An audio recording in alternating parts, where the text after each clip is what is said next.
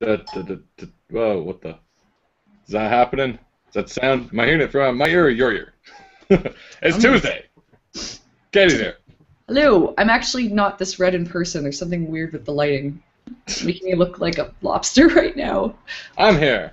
I think the live chat should also be here. I gotta make sure that's visible. Let's click that for a second. I should have done that before the show started. Mhm. Uh, it's Shanahanigans Live. And oh, why is it coming out of here? Is that happening? Is that No. sound? My unit from my ear. your- oh. It's Tuesday. Is this 126? This is why we still I'm actually support, because our shows are messed up all the time. Welcome to our professional show. If this is your first time watching, we just got back from Vancouver, so I'm just And we like are- my brain. Uber professional. Uh, we usually start with the theme song, correct? Yeah, why not? Yeah, goes something like this. Whoa, is It? We? Oh, are you getting that signal? Are we losing Yeah, our camera I'm too? hearing Are we losing everything? Is it recording? I think it's podcasting. It should be time for. It's probably Shanahanigans Live. I hate technology. Uh, is it recording? Is it broadcasting? It should be time for. Shanahanigans Live. Assuming it's you know working. What are you gonna do for Yeah, this? who knows? What am I gonna do? I'm gonna work on uh, some tonal work of Silly Kingdom. Oh, Katie's gonna work on some tonal casting things. Greg is gonna speak, and we're gonna act. We're gonna act. This tech thing just threw me off my groove, man. Come on, we can get through it. We can get through the theme song. Get through the theme song. Everything was going so well, and the computer went mad. Katie's gonna do this thing. She's gonna do this thing, and we're gonna talk about VanCaf. Yeah. Great. glad I haven't tumbled this yet. I hate technology. I wish it would work for you and for me. This is Stan Hagen's. Hate you. oh my gosh. Technology. Thank you for joining us. If this is your first time watching Oh, Shanahanigans Live, I'm Katie Shanahan. This is my brother Shaggy Shanahan. I hope my volume is loud enough. Um, we are we are comic making siblings from Canada, Yes. and um, I'm gonna work We're on a comic and we're gonna chat about We do things So, proper. yeah, so for the next hour and a bit, um, we're just gonna chat about mostly uh, the amazing weekend we had at VanCaf, the Vancouver Comic Arts Festival, but also movies, comics, whatever. And uh, feel free to join in the chat. Uh, I actually realized uh, what my mistake was. I had you do? YouTube open as well just to see if it was working, but for That some reason it was playing out of my audio interface, but not out of my headphones. Yeah, I'm, I'm trying to tumble, but I'm having some. That happened. I think our internet might be a bit shaky because uh, it might be stormy today, so uh, we'll yeah, keep you it's guys on posted. Uh, so you're watching Shanahanigans Live. We have the live chat open. Of course, it's the Google Plus Q and A. The fun that is that. Uh, we got such folks as Andrew Murray, one and only, is here saying, "Woo, the show starts." Hello, Andrew. Uh, Chris, the host with the most to boast, uh, is also here saying, "Excellent. I shall join it in the drawing times, of course. Great. This is a learning show and an inspirational show. We teach you to be while we do it."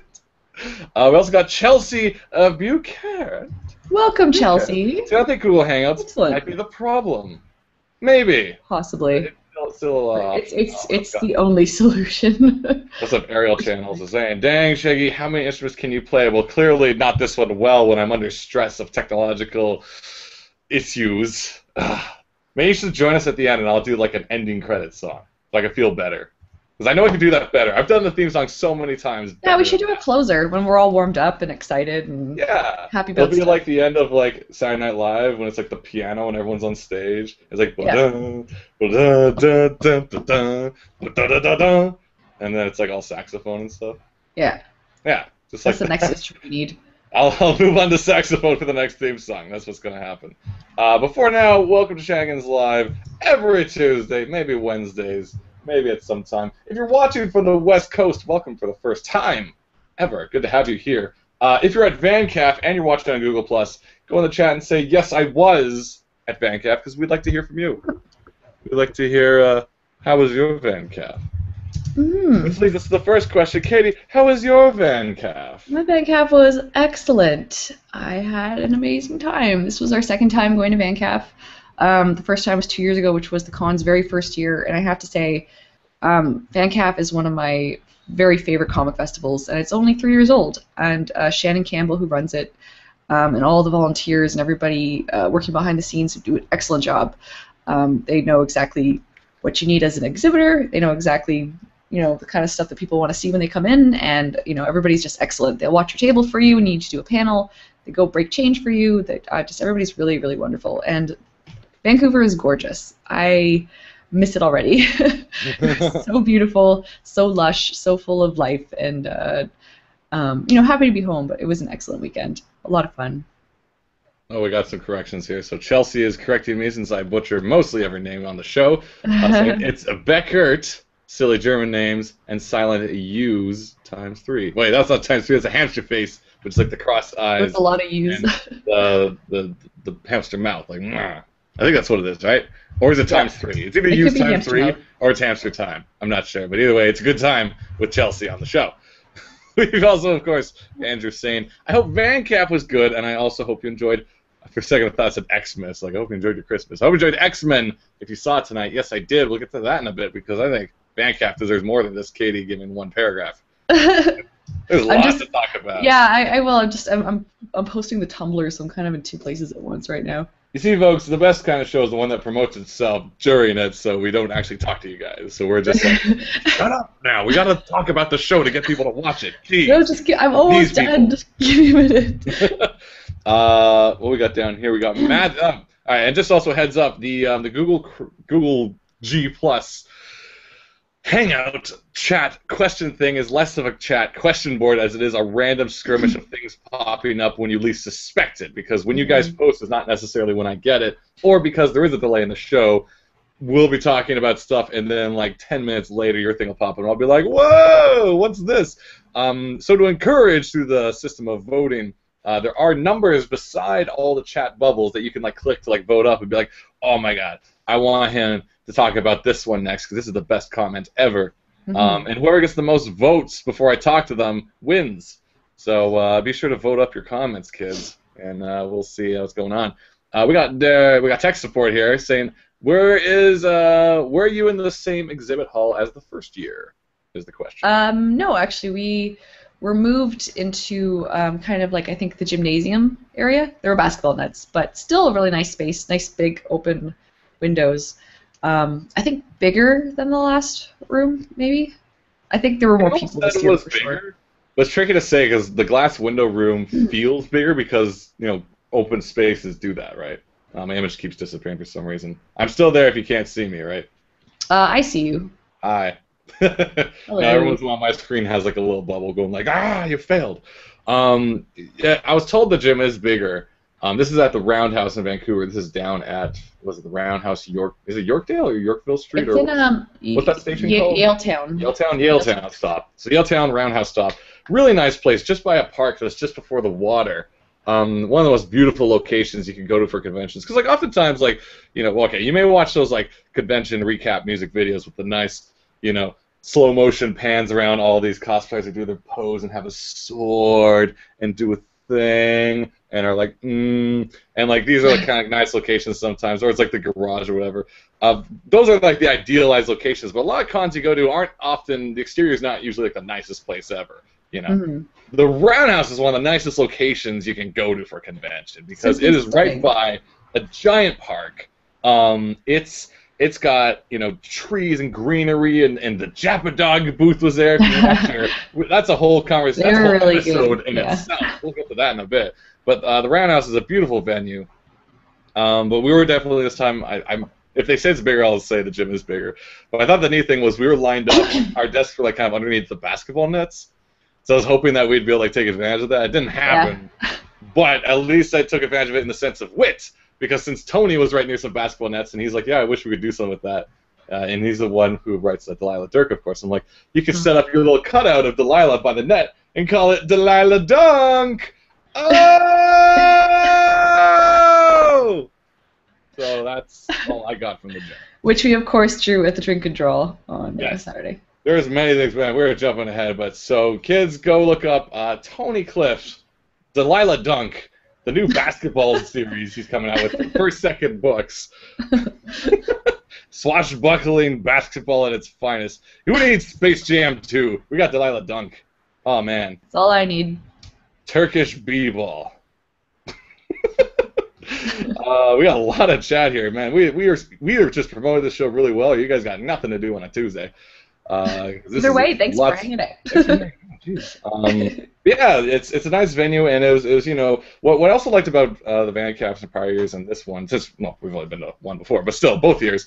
There's a lot of space behind the table too for you guys, because uh, some cons you find yourself either right against the wall, and there's really mm-hmm. no room to navigate. But you know, and I always dreamed one day like I'm like oh if we had a lot of space behind the table, I want to set up one of those like beanbag games where like you Yeah. huck beanbags across the table and try to win points and things like that.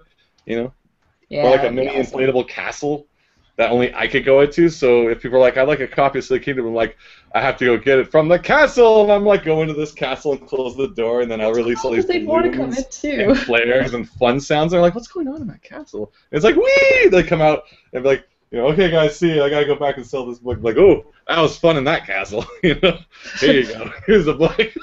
now I'm going back into the castle. That's so mean. It'd be awful. It'd be fun, awfully fun.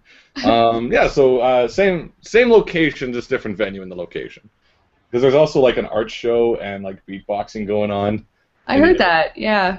It was interesting. I didn't get a chance to check it out because they also locked off the bathrooms from that area. You can only access it from inside there. And I'm like, ah, man. So I had to walk to the Mm. other one.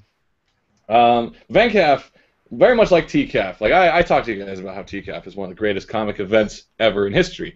Uh, because of the enthusiasm and like you know first of all the free entry also allows people to be more like willing to take risks with their with their precious dollars and things like that Yeah, um, but the that's five extra spirit you can spend. yeah, you know, but the spirit of comics is so, you know, as much as I say it's alive here in Toronto, just as much in VanCaf. It's a newer event too, so people are still just learning about it. But when they get there, some guy like could just be walking by like, "Hey guys, what's all this about?" I'm like, "It's about comics, and it's about you Well, enjoying them." What and actually you'll made be like, me really "Yes." happy? Yeah, what made me feel happy was there were a couple people that um, told me they didn't actually even know about VanCaf until I tweeted about it. Um, so I was like, wow, yay, my Twitter works. But like, we were able to actually introduce some people to a great local event. I was like, yes, you must keep coming every year. So, so voted up to three points. Andrew Murray is so far in the lead uh, with three votes. I think the next one who might win is Molly if she could beat three. If, uh, unless I answer that question. Andrew's asking, what are the major differences between TCAF and VanCaf uh, from your experience behind the table and out on the floor? Um, and of course, the names CAF mean Comic Arts Festival, T for Toronto, and Van for Vancouver. So, Katie, what are the major differences between TCAF and VanCaf? Well, right now it's just size because VanCaf is still very young. Um, like TCAF takes up two big floors in the Toronto Reference Library and it's jam packed. VanCaf is still kind of uh, on the small side, but I mean, it's going. TCAF is what it, it already celebrated its 10th year, so I know VanCaf's going to get there for sure. Um, they both bring in excellent guests. Uh, they're both great. Um, couldn't be happier with both. this year's uh, big lineup was we had a whole bunch of folk from the Bee and Puppy Cat out there at VanCaf. Uh, Natasha, of Allegri. course, uh, Natasha Who- Allegri. who we were too shy to go say hi to. You should have gotten in line to get Bee and Puppy Cat, but you didn't do it. I wanted to get in line to get the book to get it signed, but I felt kind of weird because I'm like, I'm basically one table next to them, behind a table, and I'm gonna get out of there to line up for the table. But I'm like, I'm a professional too. I should just be able to walk over there and be like, hey, and I didn't do that either, so I did neither and ran out of books. So that's my story. Aw. Uh, who else was at that table? We have uh, a couple chums there, Frank and Becky. Yeah, Becky and Frank and uh, um, Madeline Flores, who's so funny and so good. Um, what's her? I'm trying to think of her Twitter ham- handle, and I, I can't picture it. Um, but she does the great comic um, "Help Us, Brave Warrior," and it's really funny, um, funny sticky note stuff. And she's doing, um, I think she's she's doing writing on Bee and Puppy Cat, if I'm correct. But yeah, just a lot of great, great folk. Yeah, yeah. I should have my research in front of me, but I'm working on a Silly Kingdom page, so I'm just like. Well, do you have like all your purchases and stuff in front of you? If we have to reference them yeah, like actually, I have a. Yeah, yeah. Wait, Uh, quickly, Molly's saying, with two points, Molly's saying, you guys had a lot of space on your side uh, because you were against the wall, dot, dot, dot. I was on the end cap of the middle and Aw. only had one side of the table, and it was super claustrophobic, so at least you guys had a good spot. Well, if, if to give some contrast to that, like, uh, we had a at TCAF we had a really interesting spot, but tricky spot, because our desk was right at the entrance of the second floor area, but it was facing forward, and right behind us was all the desks. So basically, this is our Mhm. table, and uh, let's see. So we're here like, ooh, books, and people are going to be over over here like, ooh, books as well. Um, but right behind us was where the horizontal table started. So the gap you see where my eye is, is where people would walk in to get to their tables. So basically, our back was an Yeah. entrance way to the tables back at TCAF. So it was a, it was an advantageous spot for people approaching us, but a disadvantage for storing our stuff. So we kind of had our banner. Uh, Stu was great, gracious enough to let us put it kind of beside him. Yeah, our buddy you- Stu Livingston. You have you wouldn't see our banner if you looked at us. You'd have to look at us from the side. So And banners are important um, for people looking for tips on uh, uh, tabling. Like you want to get your displays as vertical and big as possible, so a banner is great for that because you look across the room and it's kind of like you you not you can't really read books from there, but if you see oh boom there's a Silly Kingdom Yeah. banner And oh I know that. Make sure your titles are up top on your banner as well, because if they're more in the middle or something, you're standing in front of that section. This is Yeah. a pro tip, kids, because you want the banner to go above your head so people can see you and be like, oh, so either that's going to be your name, like the creator's names is up there, or the title is up there. So if that means you gotta like reformat it, if if the banner is like literally one of your book covers, you may want to consider reformatting it for like most advantageous view because people are kind of like scoping out the horizon. Um, that's why in previous TCAFs we had a really nice spot too because when you enter the second floor, we were against the back wall corner, but you could see our banner above like everyone else in the middle. So like if you were looking for us, like oh shoot, there they are, they're just right straight ahead. Hmm. Um, and and also because uh, these kind of events have so many people too, and so many different colors and so many different things to look at. That you know, a banner is the one thing. that If someone is out of their way trying to find you, a banner is a good way to do that. You know, there's also a map, of course, too, and numbers, but there's no table numbers when you get there. Well, that's So it. Yeah, you're actually counting you know, tables. You know, we're table H six, but nobody has the numbers up or the letters up, so it's like, where where's H six? I don't know. Um, yes, Uh, Molly's also saying, "Hey guys, glad you made it home okay." we're Uh, alive. I'll also color some comics at the same time as Katie. Winky, winky. Uh, we also had a little creepy porpoise chime in and saying, "Hey Shanahan's, I finally got off work early enough to watch a Shanahanigans episode. Yay! Welcome, Oh. Ruby. Glad to have you here." Uh, okay, we got Lillian RM27 saying, "Shaggy, I blame you for my uh, addiction to suits and Stephen Silver."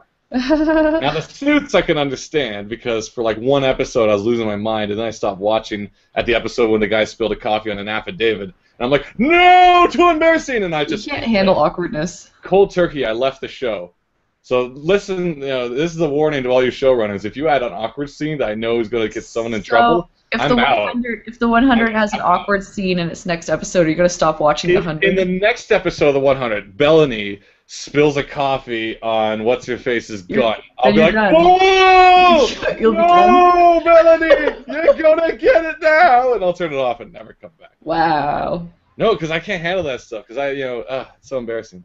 Rough, rough but rough, I say. Now the Stephen Silver is interesting because I my my addiction to Stephen Silver comes from his design work for the Clerks animated series, and I haven't really watched Kim Possible yet, but I like what he's done for that. Yeah, I've only seen little clips of it, but it looks good. Yeah, no, I heard Kim Possible is one of those good shows. It's like, oh, it's fun and it's interesting, but I never really, I haven't followed up much on him outside of my love for his design for the Kevin Smith characters because I, I love what he did with it, and, and the figurines based on those are some of my favorite collectibles. Like I, for the longest time, I had like the the Silent Bob with the cigarette and the, the smirky look to the side just kind of around my desk as inspiration because I'd look at it and I'd be like, I feel better. It was, it was this like little thing that inspired me for some reason because it was like it was a cartoon. It was the first figurine I had that was literally a cartoon realized. Because uh, you know it was an inaction figure, which meant it had no joints or movable parts, but that meant it was kind of a perfect little statuette, and it looked exactly like the series. So you know, anyway, that's another story. So I don't know how I got you on Stephen Silver. Oh, she says Steven Universe and correction. Okay, so I just yapped. So let's let's backpedal. Stephen Silver is also excellent. Let's days of future past this. I'm Wolverine and going back in time to fix this conversation. Spoiler. Um, Steven Universe is the best show on TV right now, or on the web, depending where you watch it. And it is in my top three holy trilogy of Archer, Gravity Falls, and Steven Universe. Um, these are the finest animated shows you can ever watch, and I will stand by that. Thank you. Kel McDonald saying hi, hi, guys. Hi, Kel. Kel, too, of course, was also at the VanCaf. Yes, yes. I feel That's bad because uh, I I meant to say goodbye to a whole bunch of people after VanCaf, and I was like, I'll see you at the after party. I'll see you at the after party. And then um, after we grabbed dinner, I was just so done. Yeah, like we're we, had fun, but like I I got major con plague. Um, kind of as soon as we landed, I had a great time. Um, don't get me wrong. So if being sick is the price of that, fine. I don't care. Um, but like as soon as we landed, my throat started getting that tickle, and then by the next I- day, it was just full on like just coughing. I feel it's the airplane that's doing it to you. It's I like the think it's circulated air or. I'm just something. stuck with a You, bunch of- you've never been good with airplane health. No. Do you remember the only time? Okay, like how long were we in Europe on that Kentucky tour? Three Like weeks. 16 days. I was sick the whole time, and I got better, and then the sick, I got everybody else sick, and then the sickness came back to me. and, like, it's bad because when I have a bad, when I lose my voice and I have a terrible sickness, it's like you shouldn't talk. You should let your voice rest. But I'm fascinated by the way my voice sounds, so I just keep talking and rasping. you want to do a radio play? Because we can have like I can have you as the like the lady at the counter, like, what would you like, sugar? Would you want some waffles on that syrup or something like yeah, that? let's do it. Immortalize it till the next trip. Uh, we also have to give great credit to Kel because she brought me from the United States of the Americas Oh, a do you have box of the elusive Pop Tarts with the cupcake flavoring on the inside. Now let me Yeah. let me sell this for you guys. If you guys are from America, you have no no dice in this board game because you have all these luxuries. But in Canada, our Pop Tarts are pretty straightforward and simple. Like the most exciting we go is s'mores. Otherwise, you're stuck with strawberry for life. You know, cookie. Maybe apple, Yeah. brown No, cinnamon. no. But Kel here, she, she went out of her way to give the hookups. Uh, you know, and, and there's a world of Pop Tarts out there that we have yet to discover. Like I, it is it is my mission in life now uh, to find them because uh, recently uh, some friends of mine went to the states and he brought back me a red velvet. I'm Oh. like, what? And now we got Kel bringing me this these cupcake fills. Like, what is this? So, since my birthday is coming up next week or something It like is. that, or soon, Yeah. shortly, I would Yeah. like you all to send me American Pop Tarts to the following address. Oh wait, So, right to Shanahanigans PO Live. box. PO Box Shanahanigans Live. Send me Pop Tarts. I'll post it. If Nah, people nah, want to send nah. you cards, I'll post the post office. I don't need people to send me Pop Tarts. That's just weird. I like I like the more. It's more exciting to like find them or be given them, so I don't have to buy them. Mhm. so the next time you see, that. next time you come to an American convention, please bring weird flavored pop tarts. Bring me flavored stuff. And apparently, you guys like we, we talk to this all anytime we go to a con when we cross borders and stuff. You know, you guys don't have the coffee crisp, uh, and the Kinder surprises, and apparently the Aero bars too, which is so. know, I didn't know Aero. I knew Coffee Crisp. I didn't know Aero bars was. Uh, The Aero bar is so dull. We have like Aero spheres now, orbs of Aero, delicious, and now they're like orange flavored too. We didn't even stop at chocolate. We went to town, son. yeah. Yeah. Uh, we also have a lot of other questions down here I've been neglecting. Uh, once again, the chat in Google Plus makes little to no sense. Sometimes the newest one goes at the top, sometimes it's in the middle, and sometimes it's upside down. So I have no idea what's going on. So be sure to vote up your comments, or if you see a comment you like, vote it up because you're like, oh man, I want them to address what they are saying. Vote it up. Uh, I'll just jump to the bottom quickly. We got Matthew Pritchard saying, "Hey, what's up, Shaggy and Katie?" Ignoring the technological problems. How have you both been? Well, Katie's dying of con plague. Uh, I didn't really sleep on the plane last night. We landed. Oh, there you go. yeah. There Enjoy you it, go. folks. Sorry, you can't We, uh, catch it from the internet. That'll be on the next issue of Silly Kingdom. That was on the page. I'm gonna cough in everybody's book. I guarantee. um, I was saying things and I forget what I was saying. Uh, how you Uh, doing? What we're doing? Yeah. Oh, what was I doing? Yeah, our flight landed last this morning. I guess around twelve thirty. You guys got in late. and they lost my luggage again. It's not a trip if you don't lose your luggage. I don't I. I, I tweeted earlier today. Since 2011, almost, I pretty much, at least in one of the ways, either to the con or back from, I've lost my luggage in transit for some reason. Yeah. reason. And this was a direct flight, and I lost my luggage.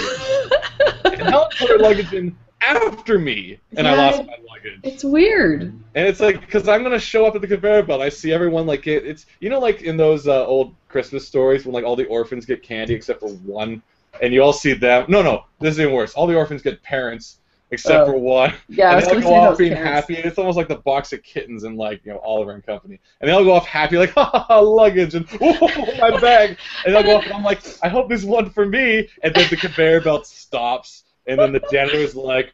they're all done and sweeping and he goes Aw. away and I'm just like shuckleberries and I walk off with no adoptive parents.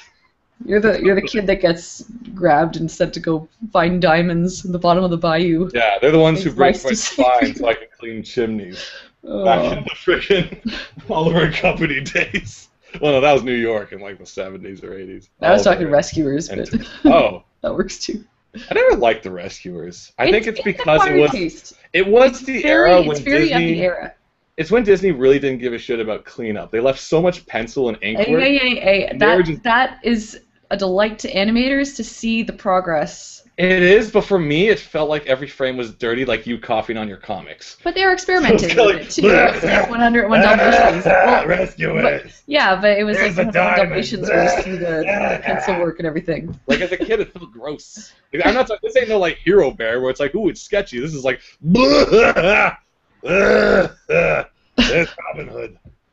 You're like, all right, remember this. Remember Lady and the Tramp, all the mud stuff, all the scenes in the mud when the dog's sniffing around the mud. Take that mud and put it on like every frame of Rescuers, and that's how it felt as a kid. Ah, yeah, yeah. Know, it could be artistic genius, but for me, I'm just like, it, it was a dirty look, but I mean, it was interesting to see the. The dirty, roughness. dirty film. The Rescue. That is a filthy film. I also didn't know how that diamond fit in that skull. Did the guy swallow it or put it through his eye? Like, jeez. That's a good question. Should call Disney out on this. Yeah. It's probably also, Disney related to has something. less child endangerment these days, I find. yeah, what's up? What's up with that, Disney? we can take it. we need more orphans in your films. And more chewing tobacco, because that looked delicious. Yeah. We already talked about how, like, me watching uh, Roger Rabbit, I didn't really understand that he had a drinking problem, Valiant. Oh, I yeah. thought he had, like, butterscotch juice, and everyone was giving him shit for it because they were jealous. You're like, what? That looks delicious. Yeah, I'm like, that looks great. I want to start drinking, you know, because On the rocks. seriously, Yeah. you just had this. For all I knew, I thought it was like butter beer as a kid. That didn't exist yet, but the next best thing would have been butterscotch juice. I'm like, man, Eddie Valiant sure likes his butterscotch juice. I'd like some. Give me that Oh, chewy tobacco while we're at it. Child. I'm gonna spit while I play baseball. Uh, Um, we went way off. So long story short, I finally got my luggage. But um, so the next con, hey, San Fran Seattle place, Comic Con. I'm losing my luggage for you soon. yay. Gonna be fun. All I had was like candy and laundry. What the hell? They stopped me for that. we got lots of people in the chat. We got Sarah from a while back saying hi. Hi. What's happening, Sarah? We also got her following up saying, I will have to split my time between the playoff games and this live stream. Which games is playing off? I don't follow the sports. What is happening in the sports? Yes. Who's winning the sports game? You could tell us down. Uh, let's go through a few more chats and we'll get back to uh, some more talk of the place, the thing. Uh, we got Glenn saying, geez, how many Pop Tarts flavors did you end up getting now? All Uh, whichever ones you brought me, Glenn, plus the one Kel brought me. So, any more people want to give me is appreciated. We'll take them. Um, we got, wait, who's reading this? We got Cat, Kadi Fedoruk saying, it was really cool to meet you guys. Thanks for coming to hang out and stuff. Oh, Yeah. actually, were how, how many, how many how many fanfic blah, blah, how many Vancaf folk are in the uh, Yeah, that was our question. So how many of you folks are from VanCaf? Raise your hand at home. I don't care if I can't see it. Do it right now. It feel good. or you could write in the chat, I'm from VanCaf. Yeah, and we could be like, hey, if you stop by. And uh, it's always good to meet folks. I believe- I believe- correct me if I'm wrong, um, just because I can't remember user handles, but Katie, no, you gave us, you do Blindsprings, which is a beautiful webcomic. Yes? I just got double check. Well, just to go into, uh, Yes. I got I was gifted some books from Morgan Sandro here. Uh, we got what's this? Ar- Archeon. Yes, that's right. I just wanted to double check. Yes. Archeon here, as well as Epinosia the Mighty and Barf. I don't know if I have my lovely Gifted. Springs uh, pins or. I actually have a bunch of things that are gifted to us, and I don't know if I have them all at my desk right now. There's like lovely pins. Yeah, we have a, really nice. booklets. They're all super nice. I think you might have more of them because I think you you got like all the anything we like put on the desk we put over in a certain special section. Yeah, I put my pins somewhere safe, um, so they I can't show them off. Um, one thing I want to quickly show off, um, if tech support is watching, uh, I got a copy of Nelvana the uh, of the Northern Lights, which is she is the uh, first Canadian superheroine. Um, and I- the first actual superheroine if you uh, go back and look at the history of it. But uh, she, um, yes, it was kind of one of those comics that was lost in time and then um, was reprinted into. Wait, comic so if format, Nelvana was the first superheroine and Spring Shoe Jack was the first superhero, can we have like a team up? Maybe, maybe now that she's Heel- back. Or no, is the Scarlet Pimpernel before Spring Heel Jack? Probably, I'm right? not sure. Because the Scarlet Pimpernel pre- predated like England jumping shoes. I take it. I'm Those sure. weren't invented yet. But yes, um, So- thank you, Hope, for my contributors copy. Yay! Because I did a print for it, so everybody who did a print got a free book. Wouldn't that be a crazy sort of like League of Extraordinary Gentlemen, Avengers team up type deal where you have like all the first of their kind heroes? Like you have Nelvana, Spring Heel Jack, Scarlet Pimpernel, Zorro, you Mhm. know, something like that. That'd be interesting. That'd be like a rights mess probably now. But uh, Mm. we also have Kadi Fedoruk saying hi, yes, ha ha ha. Yeah, I just wanted to double check because I was like, if I get the wrong game, I'd be like, jerk. Yes, yes. But Blindsprings is a beautiful web comic, and you all should check it out. And um, Katie made amazing wooden buttons that I have somewhere safe in my luggage that I want to show off. But I don't think I can right now. But they are lovely, and they smell like delicious wood, wooden, spicy, spicy woodness. Yeah. Very nice have- pins. Well, since you have all this stuff, so I believe we also got a little booklet comic sampler here somewhere. Uh, if, if you're watching the show and you're the one who gave it to us, please refresh my memory because I have to go back upstairs and look for all these things. I haven't even looked at I haven't even looked at my candy bag. All right, I just got you know, Oh. when, when we arrived. Actually, what I do have that, oh, that's what we're going to now? Okay, so basically, when I started the Vancouver adventure, um, I spent my first uh, day and a half with my fiance Jerry, running around looking at all the beautiful wonderfulness that is Vancouver. We wandered all over the place. We went to the beaches. It was a bit rainy. We went to the park. We went to the aquarium, and then um, I went off to meet you guys. And the first thing we did within five minutes was buy a buttload of candy because Well, that's we how went to we the roll. shop that was in the north end of Vancouver on the, on the little you know island sea shape, and there was a shop. I forget what it was called, but it had two giant Pocky boxes above the store like this, and I'm like, we have to go in there. And what did we find? Animal Crossing candies. Check it Oh, out. Look how cute Yeah. that is. That's precious. There's a little um. Who's the little pink llama? Uh, Alpaca. oh, Isabel. God, No. what- yeah, no, the dog. this was the dog. Uh, no, why It's, is the it's left? Reese, right? I know, yeah, Reese from Recycle. Reese. Yeah. And then her blue dude is oh, that's what's his face. Yeah. some okay, yeah. Uh, And then that's got Isabel. mini pack of make your own sushi here. Check this noise. This happy dude. And you just uh, Oh make God. your own sushi with this. This is really nice. I got Uh, uh, also- Tetris candy. Did you get the Tetris candy as well? Yeah. Well, it's a hybrid. This is a mix of Puyo Puyo, Pop Feed, or whatever, and Tetris. It's all good stuff. yeah, and I think we both got the super soda. Oh, soda! We got the blue one. Okay, because the in. Toronto, Yeah. we normally just have the hot, like the lemon ones. I got this red one that has all this fun on it, and It's- it's like, oh, and mine, mine's more period piece, and yours is more contemporary, I believe. Right? Yeah, mine. Um, if I'm just gonna talk quickly, so mine's like they look like Gem and the holograms eating uh, the blue candy. Oh, soda! Oh, excellent. And then yours, yours is like a kind of more uh, traditional uh, feudal Japan. Yes, it's a different time. a different time for candy. It was the dark times. Sorry, and then this one more. Um, I got this little. Uh, I don't know what the heck it is, but it's like Pikachu, something something. Hmm. So I mean, this is how we explore Vancouver. This is how we blow our budgets on the first day. We- we Whenever just- I hang out with you, it's just candy and madness. well, it was also they had all this pocky and stuff too, so we got some rum raisin pocky, which was nice Oh, that's good. uh, for the show. I'm actually uh, gonna crack into this peachy thing right here. This looks really good. I might I might make some mini sushi later on the show, so you guys Oh, can join I'll me on a, on a culinary adventure. But for now, I just want to do some more of the chats because we got a lot coming in. Yeah. Um, let's see. Uh, I'm going to read a bunch of these and we'll get back to VanCaf Vancouver. We also have Molly saying, Thank you. I'm glad you like Archer. Uh, high five. You're welcome. Uh, Melissa asking if I got my luggage. Yes, I actually did get my luggage. It arrived today. Um, slightly dented on the left side. Yeah, they really hammered that thing. They're really hanging up a bit. Uh, tech support saying, Oh, yeah, Nelvana the Northern Lights. Yeah, we got that action. Good. I just want to Uh, make sure you didn't pick up a copy because uh, I'm gonna bring this one.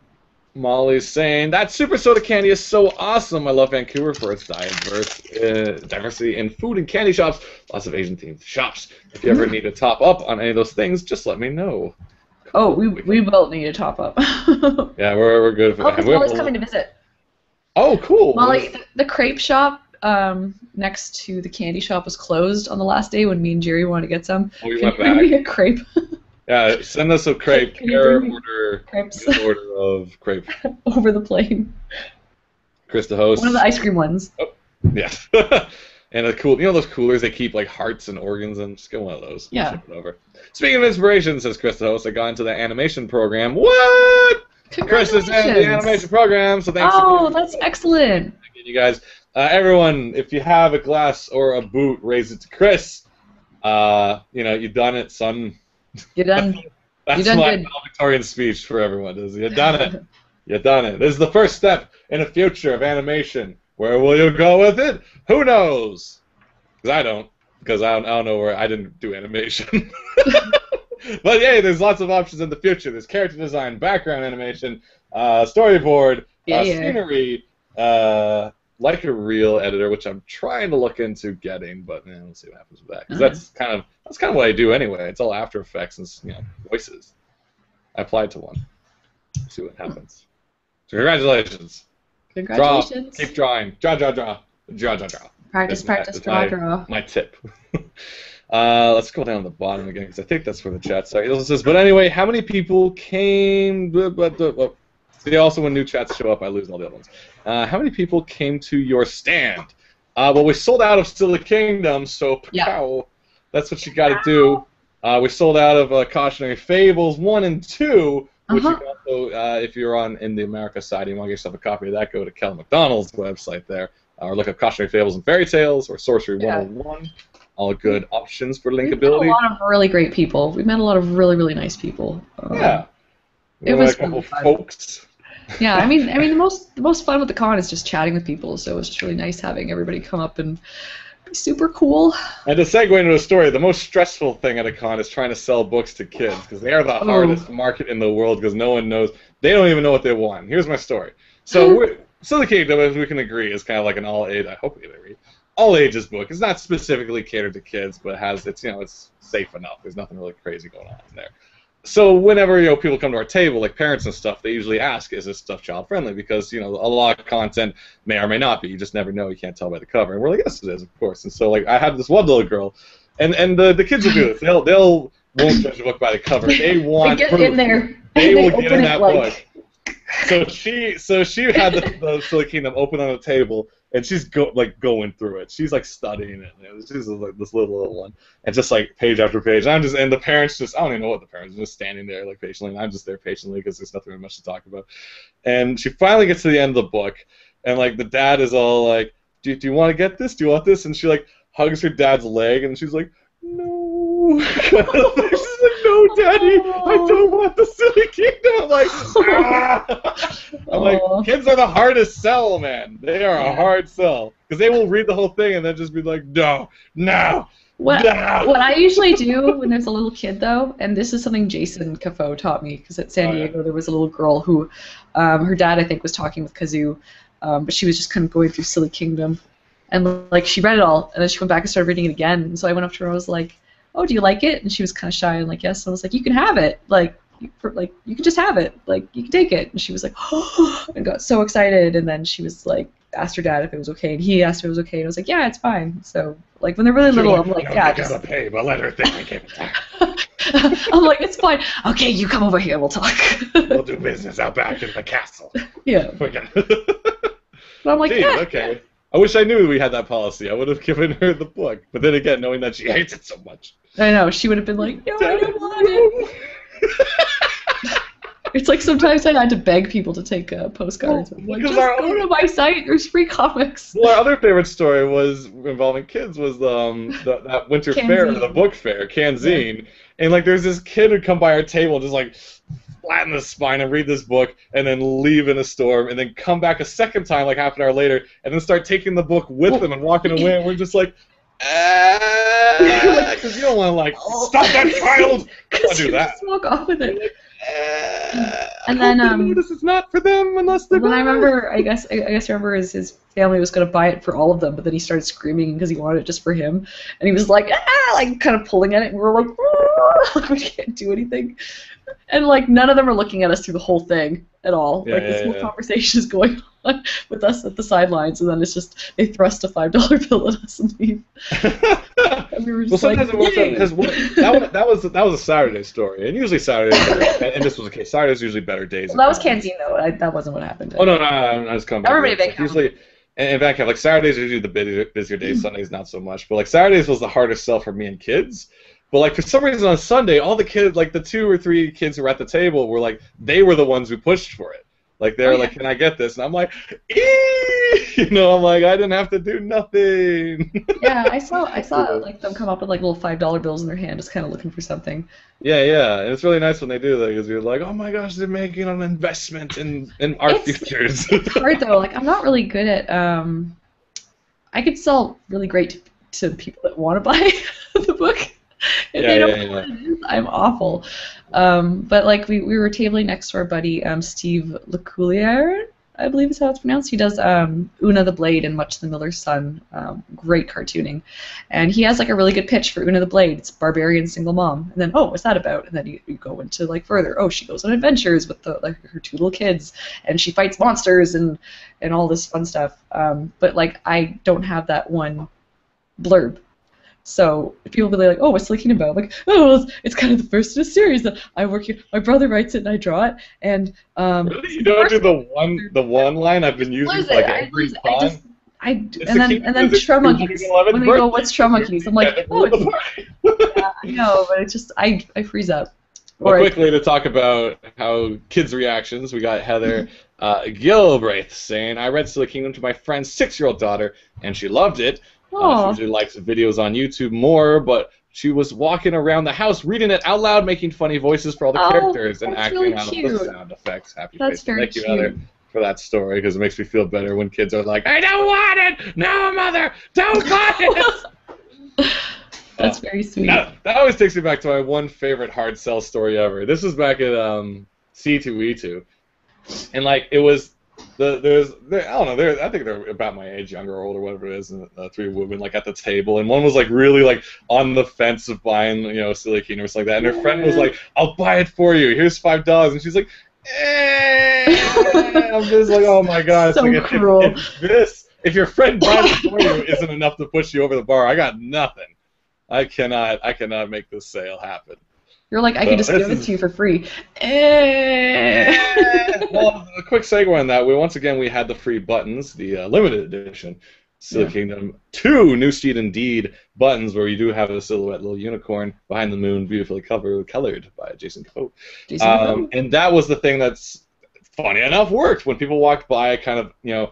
The quick pass, I'd be like, free buttons, and they're like, oh, free buttons. Oh, it's a unicorn, and I'm like, oh, you like those unicorns, do you? Well, guess what? You know, and then that's how I kind of tie people into the second book. They're like, oh, is this the first book? I'm like, yes, it is. It's about this and the second and book. that actually worked So- a couple times. And yeah, Which a good couple times. Like this makes the button investment worth it, I find, because you know, for every forty cent button, if we could get people interested in the series and like you know, if you're watching this show from that too, welcome. And Yeah, this, welcome, this isn't welcome. just like me being a devious businessman, because I'm the furthest thing. not like fools. This is like Suck you know, it, um, I'm the furthest the from a devious process of- businessman.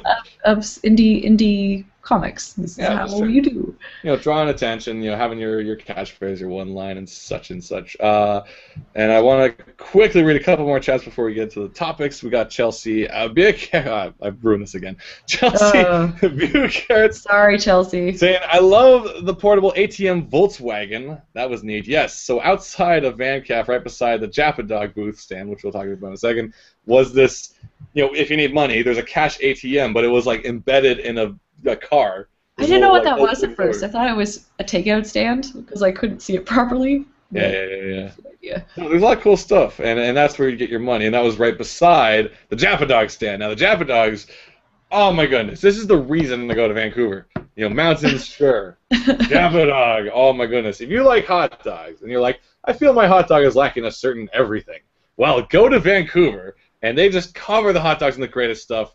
Uh, I had one that was like a, a diced up kimchi on like a turkey dog, and then there's like the mayos with the oh, yeah the okonomi one, and good. they're all so good and they're also different and also unique. And I had one that was like you know had the seaweed and the mayo and had three cheeses on the inside.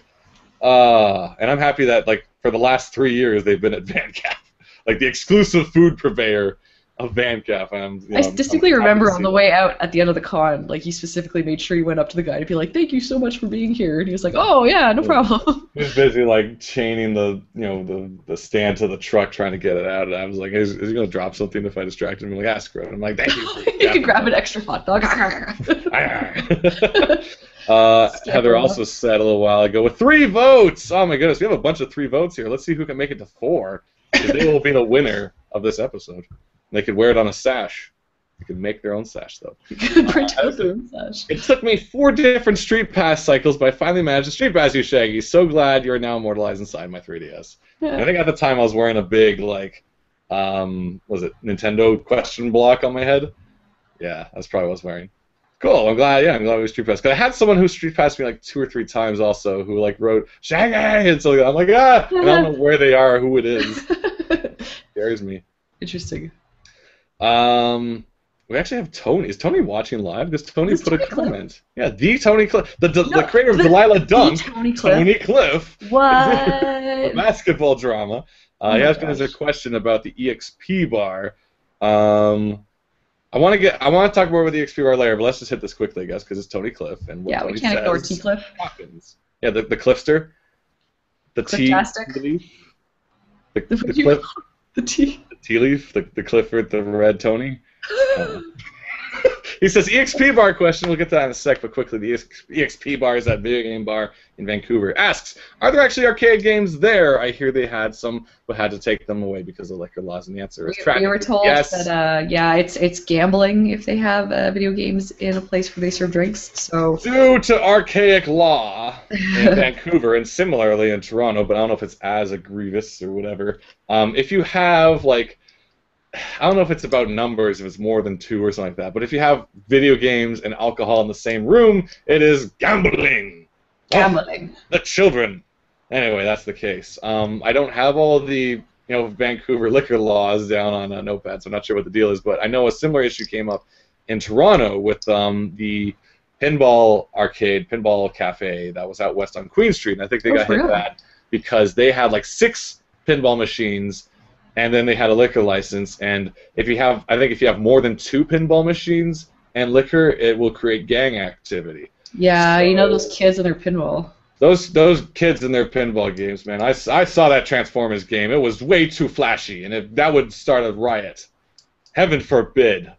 Um, so that's the situation we're in right now, and this is why we ourselves may not have, even though we have all these board game cafes popping up around Toronto, um, we may not have a video game one anytime soon because these laws are. There- There's a lot of archaic laws that are still biting us. Even the uh, the food cart laws in Toronto are way out of. We the- we ah, I'm know. so disappointed. There were so many just walking around downtown Vancouver. There was like Australian pies. There was okonomiyaki on the road. There were We have food- dumplings on I the didn't actually see any food carts in Vancouver. Yeah, well, we walked around the downtown to get to the water and just through the business sections, and it was just Oh, that would have been it, tacos and and pad thai and like Indian food and just a Yeah. ton of variety. See, you guys in the states are all get is hot moaning. You're moaning that you don't have your arrow bars in the states. You guys have food trucks everywhere. San Francisco has rotisserie chicken spinning That- off the that- block. That though, I know we are getting better because I keep finding the trucks that come to certain locations for like Yeah. the the underground food market, but like I don't know if they're doing that under the table. Yeah, yeah. Um, no, no, no. It's legit, but it's like It's called the underground food market though. it's. I, I don't know what the laws are myself yet either. There's just a main thing where it's just like hot dogs, burgers, and fries are kind of it. I'm gonna pop up my water. I'll be right back. Sure. Um, oh man, now it's like a really hot. Um, so like food food carts and trucks, like the the carts would be mostly just hot dogs, burgers, and fries are kind of like the base of it. Where else you go to New York and you're getting like tzatziki sauce on stuff and shawarmas and things like that off the street.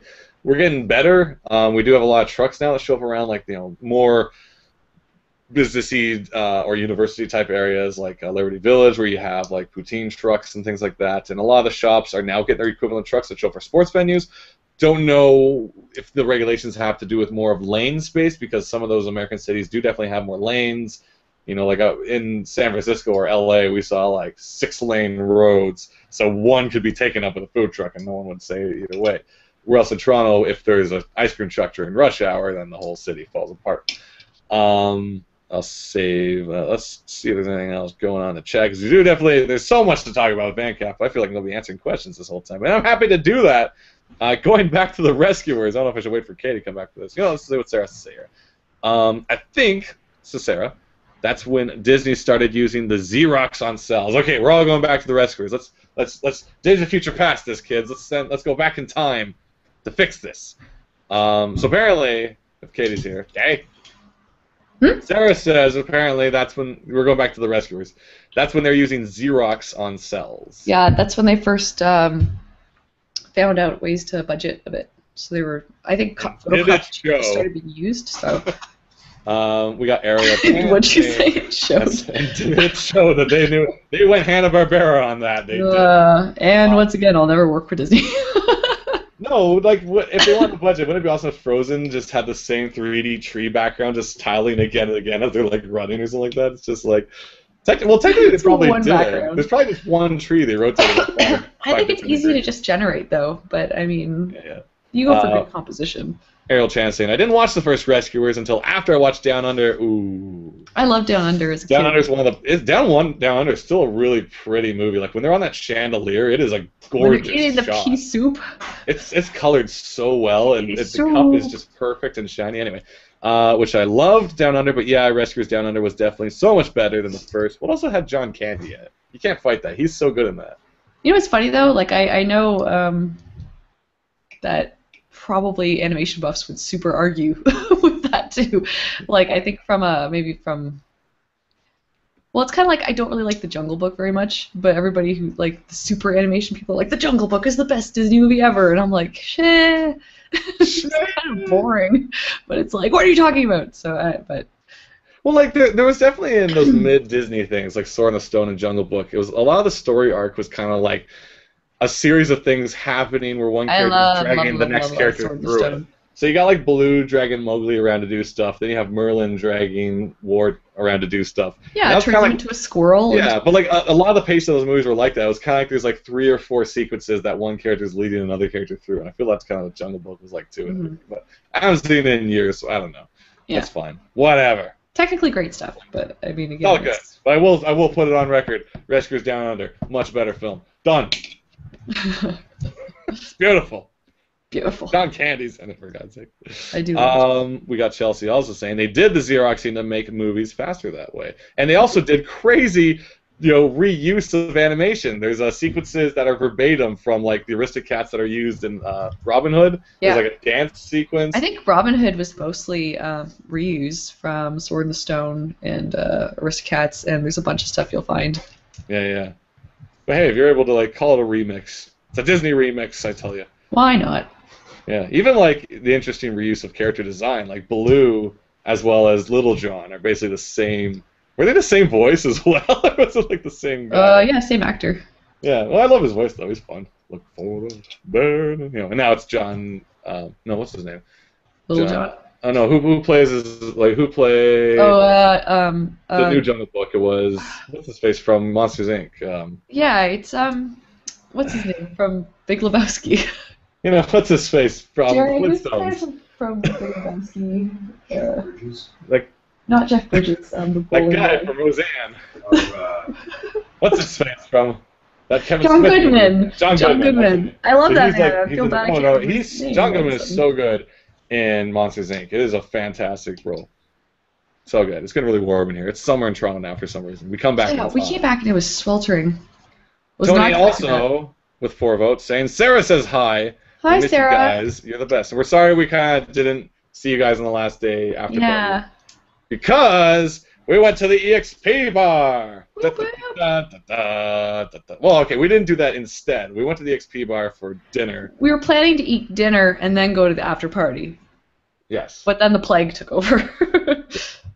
Um, and I, I'm gonna have to do like a Tumblr post or something about this because the XP bar. Now, you know, let, let's all let's let's not bury the lead. There were no playable games there because of Vancouver's archaic liquor license laws and stuff like that. Ooh. Um, what they did have though was a ton of like visual paraphernalia all around. There's like Mario tiles. There was friggin' Metal Gear paintings. There was Sephiroths and you know summons and you know the bathroom was covered in you know, Assassin's Creed art and stuff like that and things like that. It's just like there were there was stuff everywhere, all for the eyes to see.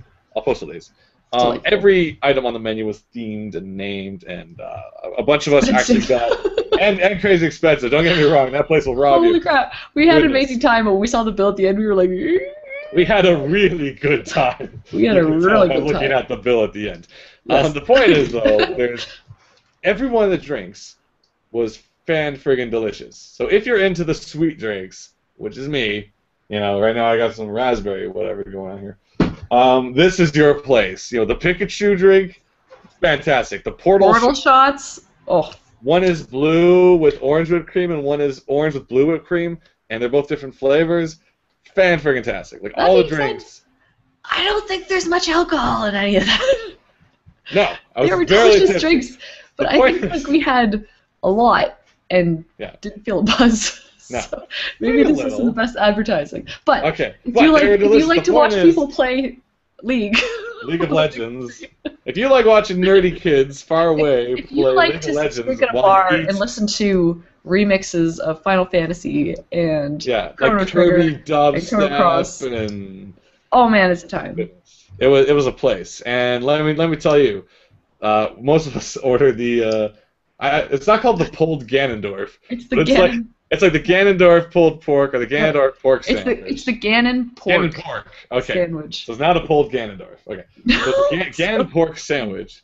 And it was really good because it's like a pulled pork with a deep fried avocado in the middle. I assume that's Link inside Ganondorf's like grasp. hmm I just thought of this now. I didn't think of it at the time. I wasn't smart enough. There's a lot of levels. what it is. A lot of levels, a lot of puns. The starter menu is a start menu. Get it? Get it?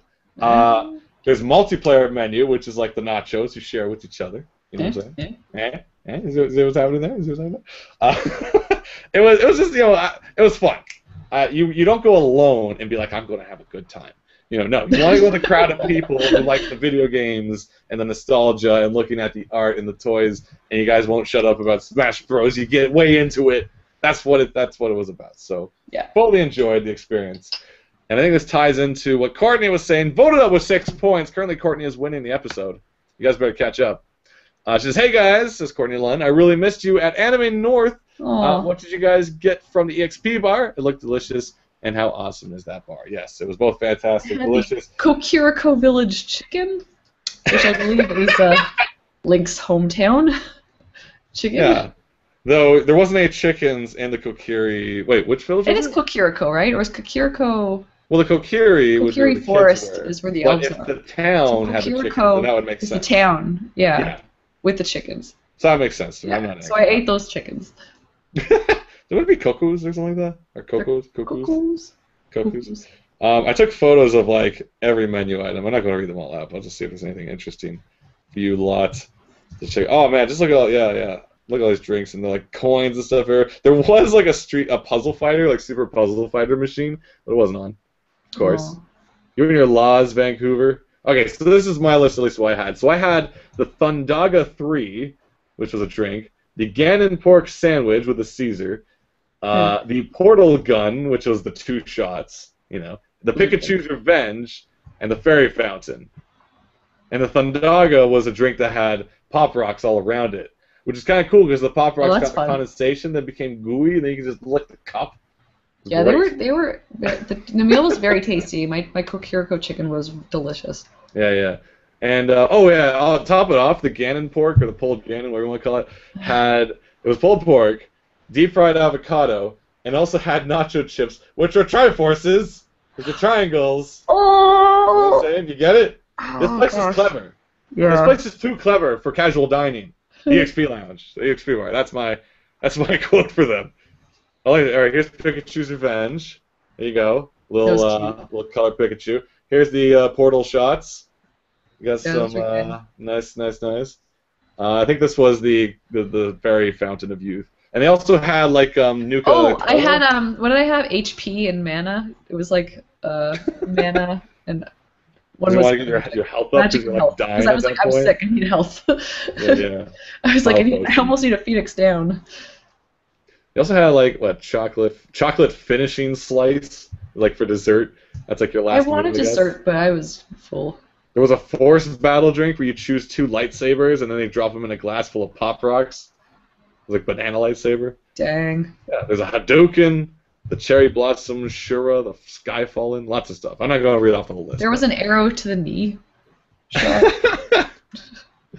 yeah. Uh, oh, we have Molly saying Kokiriko Village is the Shika town at the bottom of the mountain. Kokiri Yeah. Forest is where Little Link lives, but Kakariko is known for the kokus, the chickens. So go. Yeah. Okay, that makes sense. Thanks, Molly. Yeah, yeah, yeah. Wish they didn't name everything all the same. It's fantasy. Name differently. like Tolkien. Yeah, Tolkien with his Arathorn and Garaborn and it's how it's how you knew everybody was from the same place. They all had yeah, they all have a dumb name. Great. Uh, what was the name of the bargains? Is J.A. St- Staple? It's the EXP Bar! Woo! Vancouver, and there will never be one in Toronto. The best you guys can get is A&C World, which is kind of like a, a little arcade land place, but there's no food or drinks. We were drinking at that place in Seattle. Um, not that this is the drinking show, but like when we went to that video game place after Emerald City Comic Con, like there was you could get a beer and go play stuff. It's a ton Oh no, you're, you're you're talking about um, uh, GameWorks. Yeah.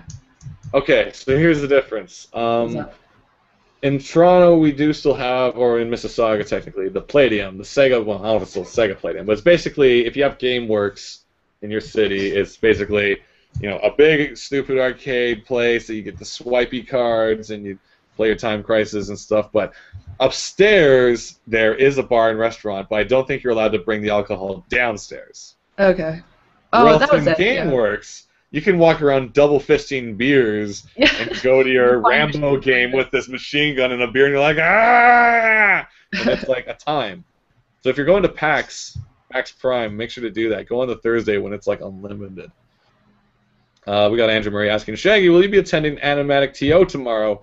XOXO, Andrew. Oh yes. That's tomorrow. That is tomorrow. I have to double check. I haven't planned anything Yes. since getting back. I've been kind of lost to the world. I'm not sure yet. Um, but if you guys are in town, do check out Animatic TO. Um, who who's the guest this time? Do you know? I think or- it's um, Ricardo Curtis of House of Cool Ooh, Studios. Um, cool stuff. I think Ricardo worked on like the Iron Giant and some cool Pixar stuff, and then he came back to Toronto to run his own studio, which you can listen to actually on an episode of Guys with Pencils, which was a very fascinating watch. Um, and in it, he talks about something I always found really interesting about how um, in the states, uh, the Canadian animation versus American animation. Um, I'm kind of boiling it down way too much, but in Canada we have a lot of tax credit and subsidies, um, which you think would make people take more risks because you have more of a safety net, but people don't. No, And in don't the want to lose that safety net. so yeah, they and in the take states risks. it's like it's do or die, so that's where more of the interesting. They try to catch an audience any way they can. Yeah, that's where stuff will come out that's like, whoa, this is totally unique. So I mean, that was kind of an interesting and sobering thing. But Yeah. not to say you can't come up with like totally unique fun stuff in Canada, but it just It just it won't be funded. So there you go. it's it's luck, it's harder to do it, but it's possible because I mean, um, it's creative creative people come from all over the place, right? Yeah, yeah, yeah. That's interesting to know. Yeah. So I don't know. Go to that and learn more. We got Ariel Tran saying, going back to John Goodman. The first movie I seen her John Goodman outside of Monsters Inc. and Emperor's New Groove was The Big Lebowski. That threw me Yeah. for a loop. I haven't seen The Big Lebowski, but I saw the He-Man version of it with all those quotes, so that threw me as Yeah. well. Seeing you go. He-Man say it. it's fun. So, look up The Big Hebowski. It's great. It's fantastic. It's so good.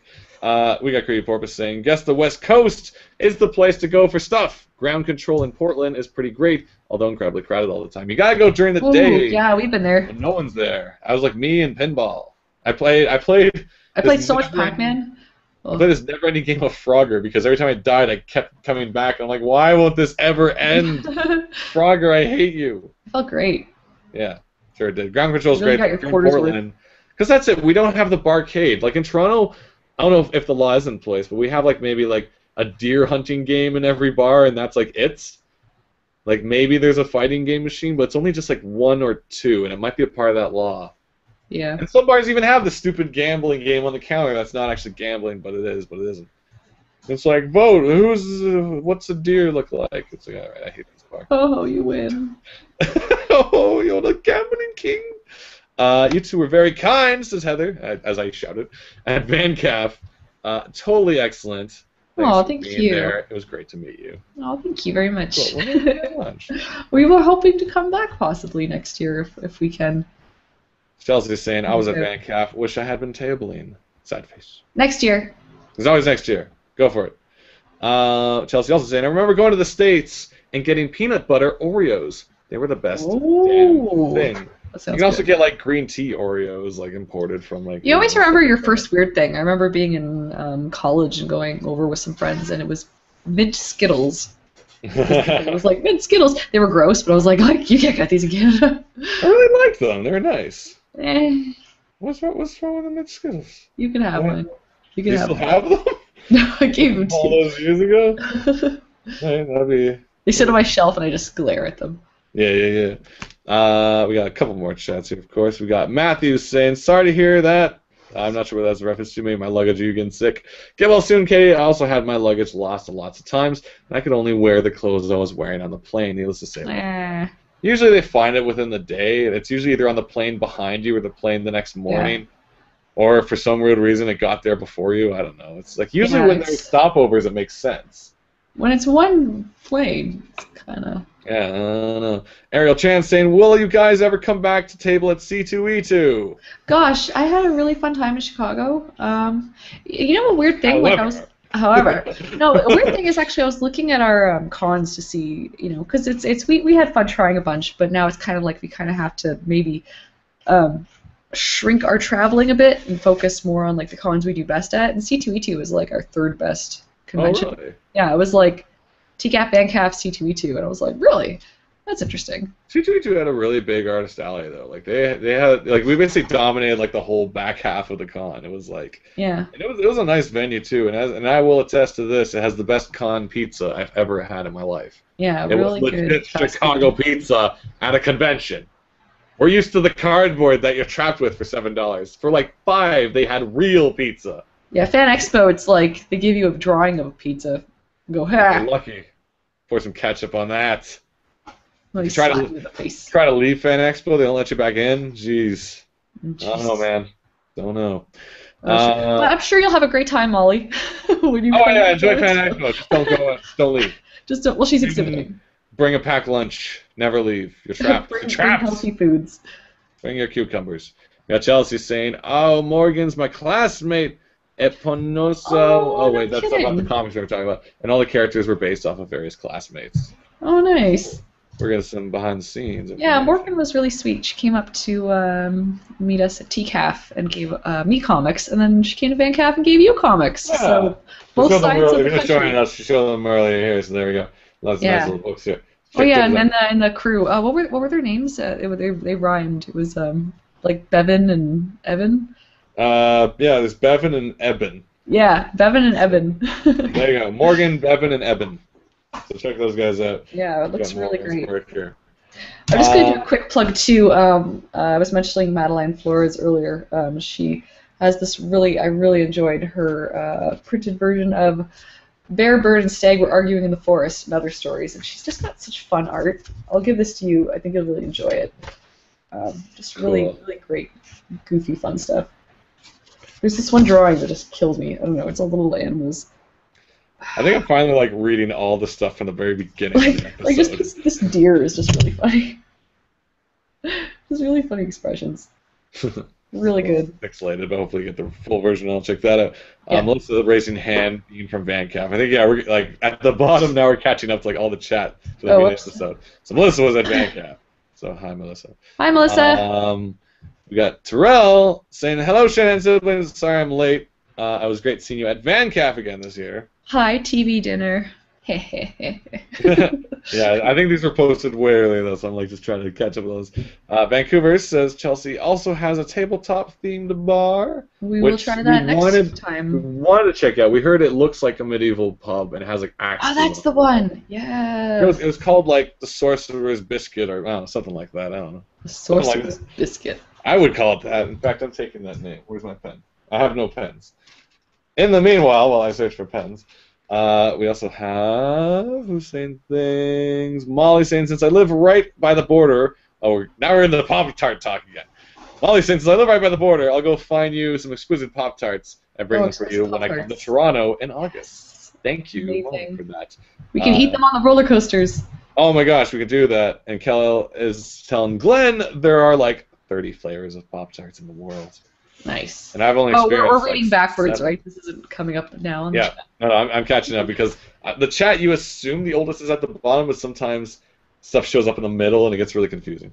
Mhm. Uh, Molly also saying, I don't think I could bring crepe on the plane. Okay, this is old, but I could make French crepes. I can come visit you guys and make crepes. Sweet. You can come to our house and be a guest on the show. And Chelsea corrects, it's the Storm Crow Tavern. What did you call it? The crunchy biscuit. No, the Sorcerer's biscuit. The sorcerer's biscuit. which may actually be a Harry Potter reference. Sounds like a Harry Potter reference. Yeah, I'm not going to write it down because that might have been a Harry Potter The reference. So write- philosopher's scone. Yeah, I think yeah, I think I heard that before. So I'm not gonna write that. It's not mine. You guys can take it. It's not mine. But Stormcrow though, Stormcrow Tavern. So yeah, board games that actually have physical fake money and alcohol is okay, but Yeah. video games where you don't even get damn tokens anymore is wrong. Boo. You figure the logic. Toronto. Toronto. government. Your spicy hot weather. Yeah, man, I'm sweating. I already took a shower after coming back from X Men, and now I'm sweating all over again. You had a good time at X Men. It was a sweaty movie. You get to see Wolverine's butt. That's my kind of movie. yeah, yeah. Godzilla was really sweaty too. I don't know what it was, but that theater was warm. Mm. Uh, Terrell saying, I'm really hoping a ta- I'm really hoping to table at VanCaf next year. If Sweet. you two were there too, it would make my weekend. Yeah, we hope so. I mean, we, we weren't able to come with Silly Kingdom 2, so when we get this thing finished, we'll have to bring it back out west. That being said, every other year I do miss Anime North, and I'm like, Ugh, I know. But the thing is, is, I feel like Anime North was an amazing time in my youth, of four years ago. um, now it's just bitterness and regret. I feel like if I go back, well, like, because one of the last times I went, I was that person that holds everybody's bags while they take pictures, and I was like, no, I don't want to be the the mom at Anime North anymore. So we all we did call mom? We called So- it the mule, didn't we? The Or mule. I don't wanna be- the packing mule. pack mule. You're the the pack mule. Stuff. So I found that you have to be in costume because if you're in a group of people in costume, everyone's going to want to take photos. So you need to have the best costume. So everyone wants to take your photo, and then they have to hold your gear. Or if you're a cosplayer, you're not allowed to have a purse because I will not hold your purse. Yeah. Leave it on the floor. Um, so uh, I, I think I had a lot of fun when we did a group cosplay last time. So I'd like to do something similar. Oh, we got more Pop Tart talk. Kel saying the flavor I brought was called confetti cupcake flavor, and it's advertised as a good source of calcium, which I assume is a lie. Well, if you That's replace like calcium, replace calcium with joy, and it will be proper advertising. Do you remember the Nutella ads? It, I mean, everyone. there was the mom who's like, my children need to swim, but they suck. So I give them Nutella, and then they're in the pool like. it's, but it's got like healthy skim milk and whole, whole grain hazelnuts, and it's And good for just your the brain. right amount of crack cocoa. I was like, it's chocolate. You're just Gets eating them chocolate. going. Paddle your butts, and he's like, "Ah, ah." Nutella. I saw a new Nutella commercial that's even worse because it's oh like yeah. I don't know if it's like everyone just loved it so much, but there's like kids making like their drawings of Nutella as a kid to put on the fridge, and mom's all proud of it. I'm like, no, no one like as a kid I didn't draw a Kraft friggin' dinner and say, mother, put this on the fridge for me, please. I wish Yeah, they would be like, uh, we have a problem. I'd be like, my son's a sellout. He's advertising. I don't need this. That stuff Yeah. is such BS because I mean, a kid even wa- like, unless you're doing it for the jokes, anyone watching is gonna be like, really, you love it so much, mommy, can we put this on the fridge? Oh, you, like that's not.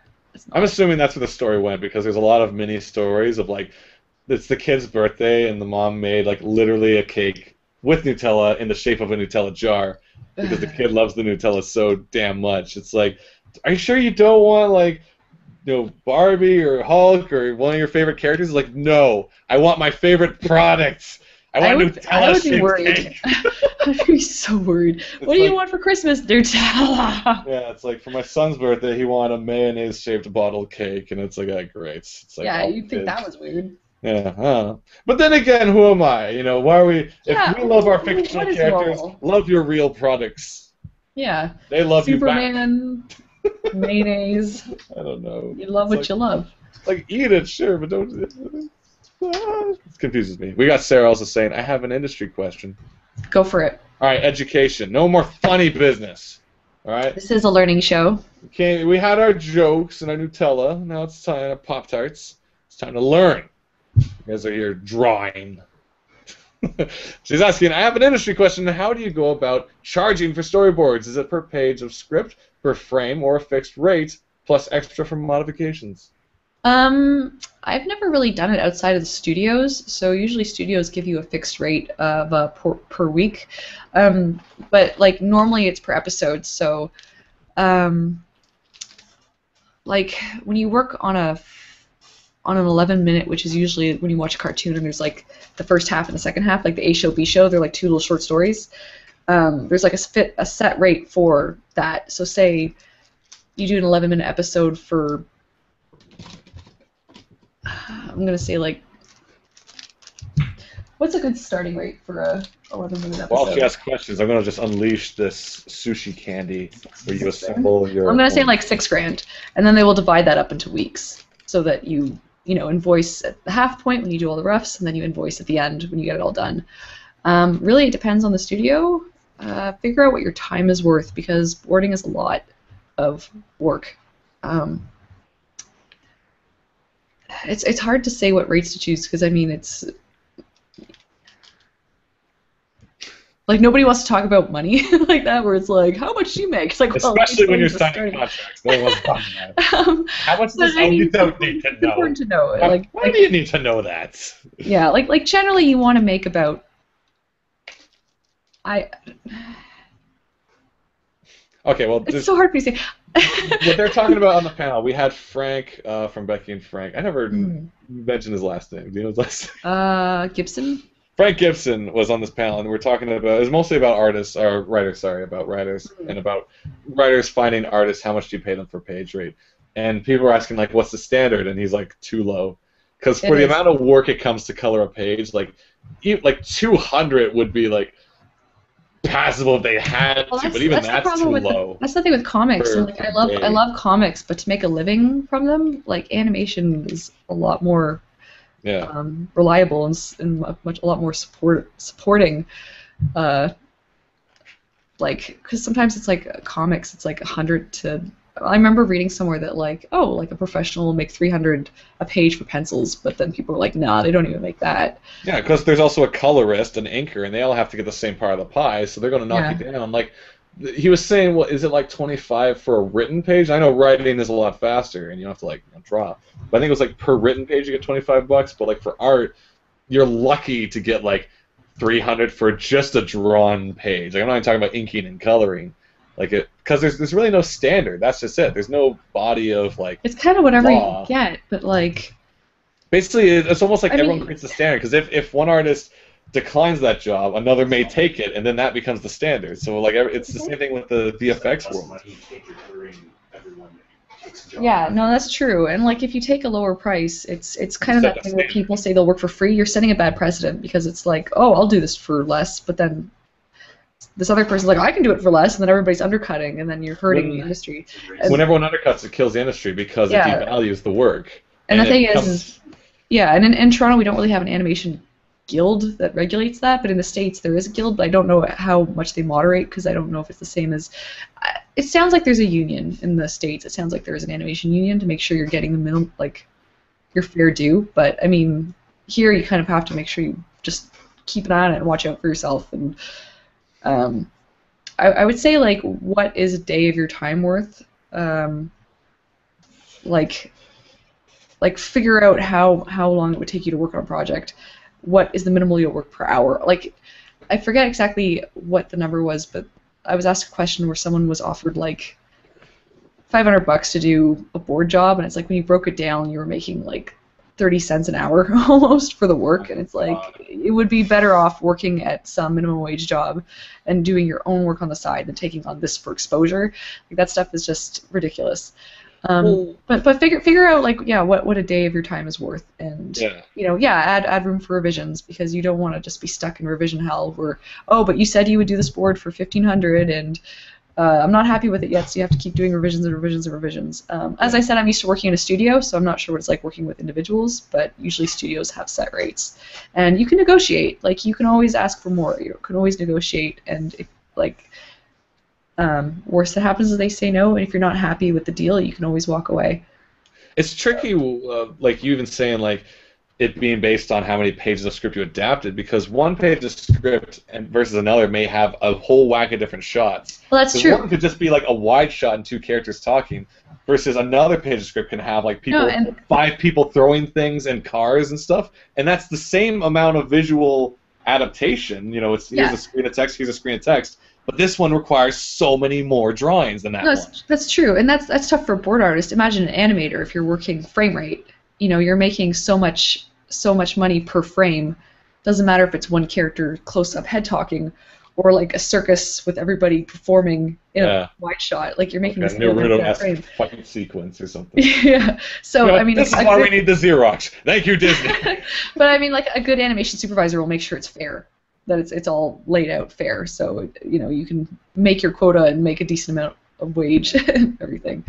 Um, but yeah, I it's it's hard for me to say you should ask for just X amount. Like I think there might be a follow up from Sarah saying, I got asked that question from a live action film person, so I don't really know what either because it's less detailed to know for that Mhm. either. I guess. Yeah, it's because like the storyboarding, if if you want to break it down, like if you want to break it down, how much would you want to make a year? If you aim that you want to make like 52 or whatever year, then you break that down to your day rate. And what's mhm. your what? So you're either gonna try to fight for a day rate where it's like I want to make 200 a day, but then you have to budget that against your time. Like how many days does it Yeah. take to do a scene of a board? Yeah. Can you do this many pages a day, or do you want to budget down to how many pages you draw? It's, it's kind of like those are like I'm I'm hoping not confusing because I don't have the science either.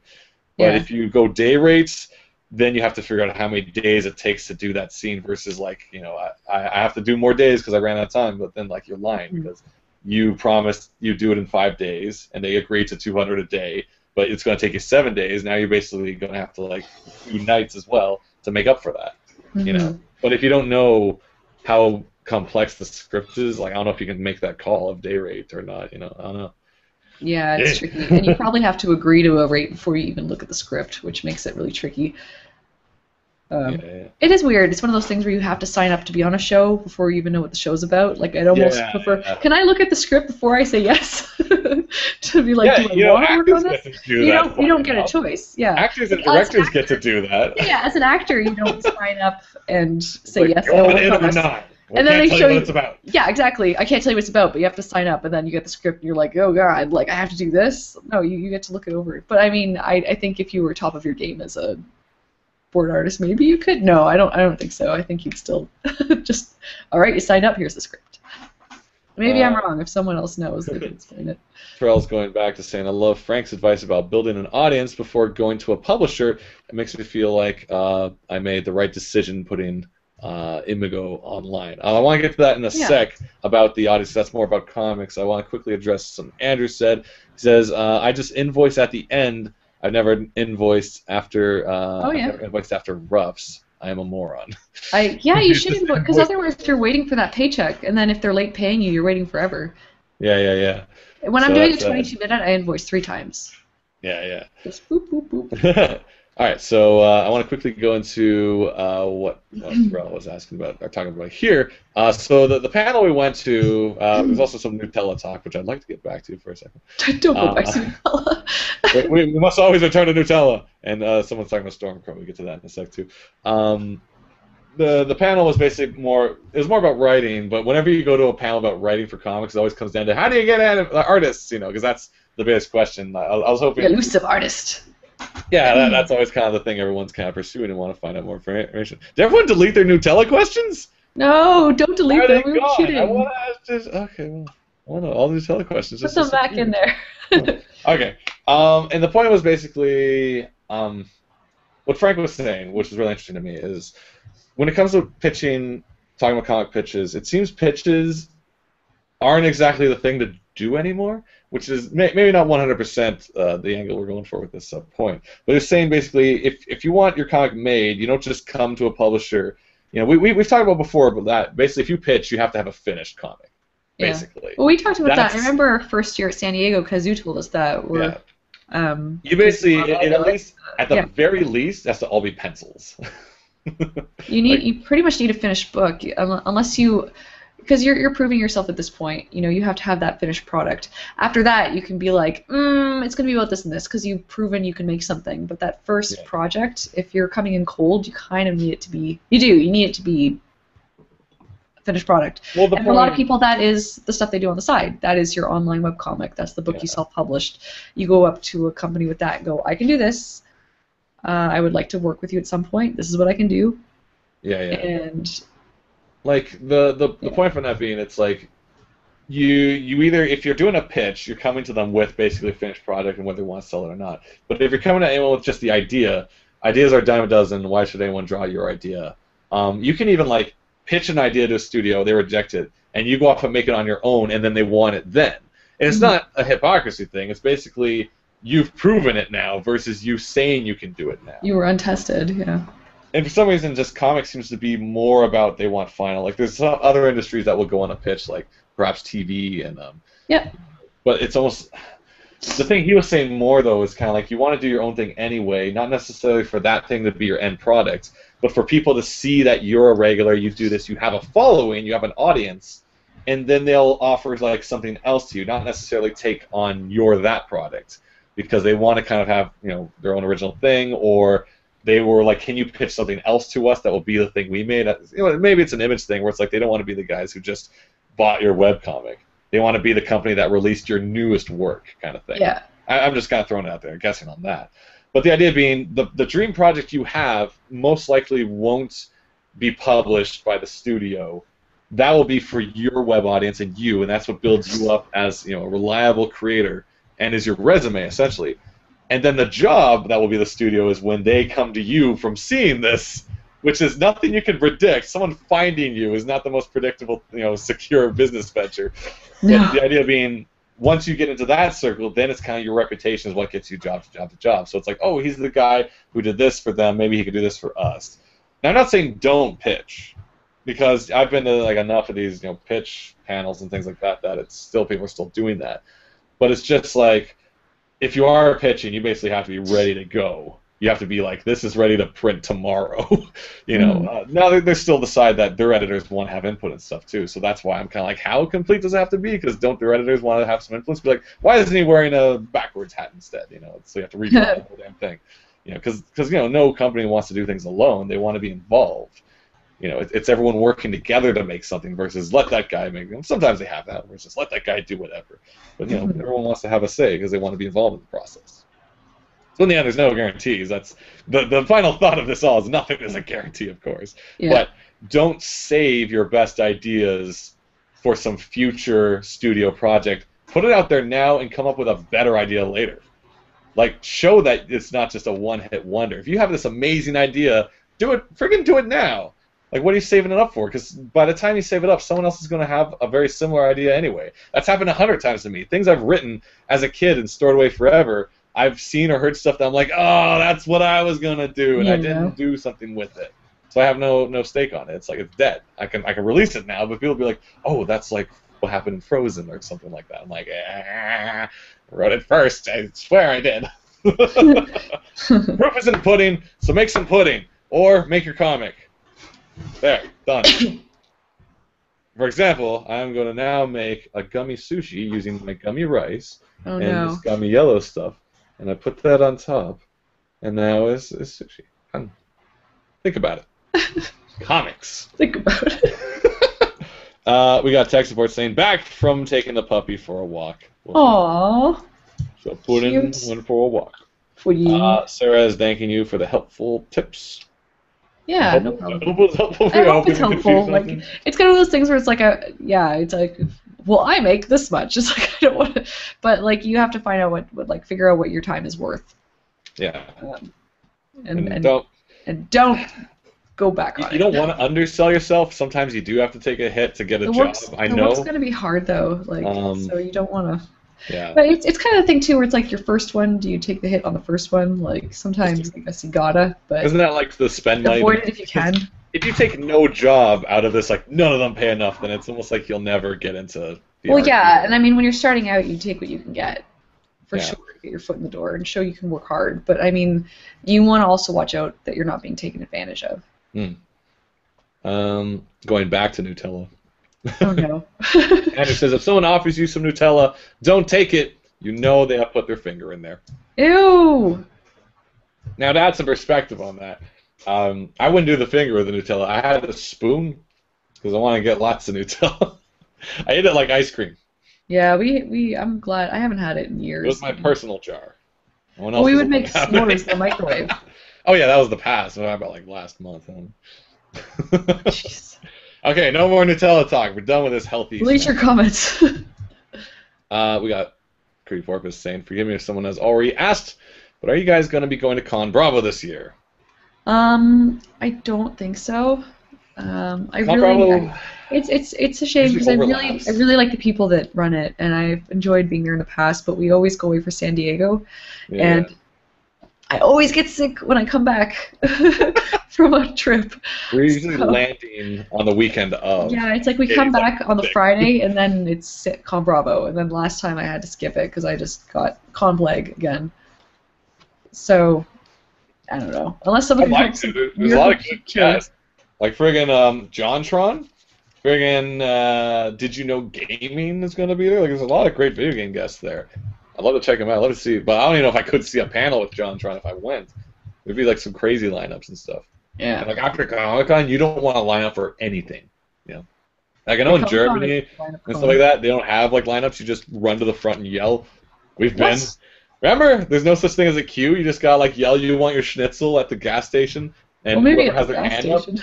Yeah, Yeah, actually, Yeah, I, but- I found the polite Canadians were starving. yeah. We're like, oh, uh, oh, she was. Like, oh, uh, um, uh, uh, and like you gotta. somebody will feed me. But at Comic Con, you gotta line up for everything, and so after doing that for like four hours for a panel, you just don't want to get into a line ever again for a year until the next Comic Con. Yeah, I need So- to build up my resistance for a year. Yeah, yeah, yeah.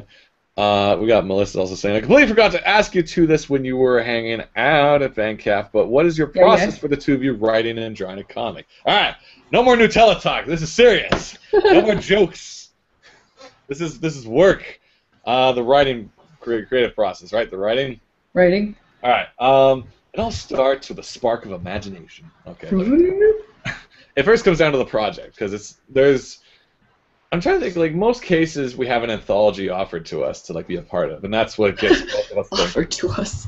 Well, no, it's like, would you want to join? It's not like we, we don't hunt down anthologies and be like, I want to be a part of it. It's like people who know our work and oh, stuff. Oh no. Are like, isn't it? Have, have Yeah, you yeah, founded we- an anthology? no, we've we've always been invited by lovely Yeah. people. Yeah. I'm not saying this as like some crazy like boastful thing. That's just the way it is. When you put your work out there, uh, people see it and be like, oh, they do good stuff. I'd like to have their work a part of this anthology, and hopefully Yeah. they can deliver. So we'll Hopefully they're not super late. hopefully not schmucks. and I hope we've proven that we are not. Schmuckly. We're not very schmuckersons. Um, but it'd be like what you know. There's a theme to these anthologies. In the case of the cautionary fables and stuff, it's uh, you know, fairy tales and uh, folklore from various cultures. And so, in that case, both of us will either be digging through websites or hearing or remembering stories we heard as kids and stuff, and then like kind of seeing what would be the most. Step one is it. research. Yeah, is re- in that case is research. Um, so that's that's step one. If it's our own stuff, which to be fair, I guess the only real narrative one we did was Silly Kingdom. That was more of we wanted to make a new comic that wasn't, you know, what wasn't our our web stuff was based on an original property, original. We wanted to make a short story. Yeah. Yeah, and I already had a couple written from back in 2005 when I was doing the radio plays. And Silly Kingdom was this radio play series that I completed the first one with a cast and everything, and kept writing others, but those ones just didn't come about due to the scheduling. But so I had all these scripts lying around, and we're like, let's let's see if we can adapt this. This is kind of fun and silly, and it's light, and we, it can be like so many pages. Um, so in, in the case of you know, I'm trying to like ver- merge both these processes into one point, just so you can hear the origins of both. So for the anthology, it's the research. For the original, it's kind of like us thinking of ideas or looking at old ideas we had and seeing what we can do with them. Yeah, well, like I mean, the only um, like the only stuff I've really written is like some of the Shrub Monkeys, which is just coming up with ideas like, oh, that would be funny, and then just jotting it down. But um, for my anthology project comic, um, with the silent story with the guy getting a coffee, um, it doesn't really explain it very well. But like it was just kind of you you designed a character and you came up with this crazy idea of like a because I asked you for a story and you were like, oh, how about this like muscle man kind of character? And I was like, okay, okay. And I wanted to do a quieter story. I didn't want to do something wacky, but I'd come up with designs for this character based on what you said. And then I was like, well, who is this guy? And then I just kind of kept. Oh, I didn't know that part. Yeah, was because he started off as a muscle man, and then I was like, well, let's take him out of the barbells and put him in like a suit and a hat. And what does he like to do? He likes to read, and he has a dog. Takes his dog for walks. Oh, he lives in like Paris and goes for walks maybe, and then now he's in a coffee shop. So I was coming up with what would be a cute story, and then I made it into like a little because the theme of that was like um, the theme of that book was obsession, but you could take it however you wanted it. You could make it darker or hmm. lighter. But I was like, how about like the the cute, not the creepy obsession, but like when you first meet someone, you can't stop thinking about them. So I was t- trying to make yeah. a short story about that. So I mean, it was kind of. I remember for a long time I couldn't come up with an idea, but just kind of slowly started piecing together. And then the way I write is thumbnailing. It's just kind of coming up with the shots in my head. The way you write though is very script. Well, basically once we've like kind of landed on the story we're going to either adapt or do, it's I've I'm kind of gone either have like the my favorite two or three scenes in my head already, and I'm Mhm. like I want these things to happen at some point.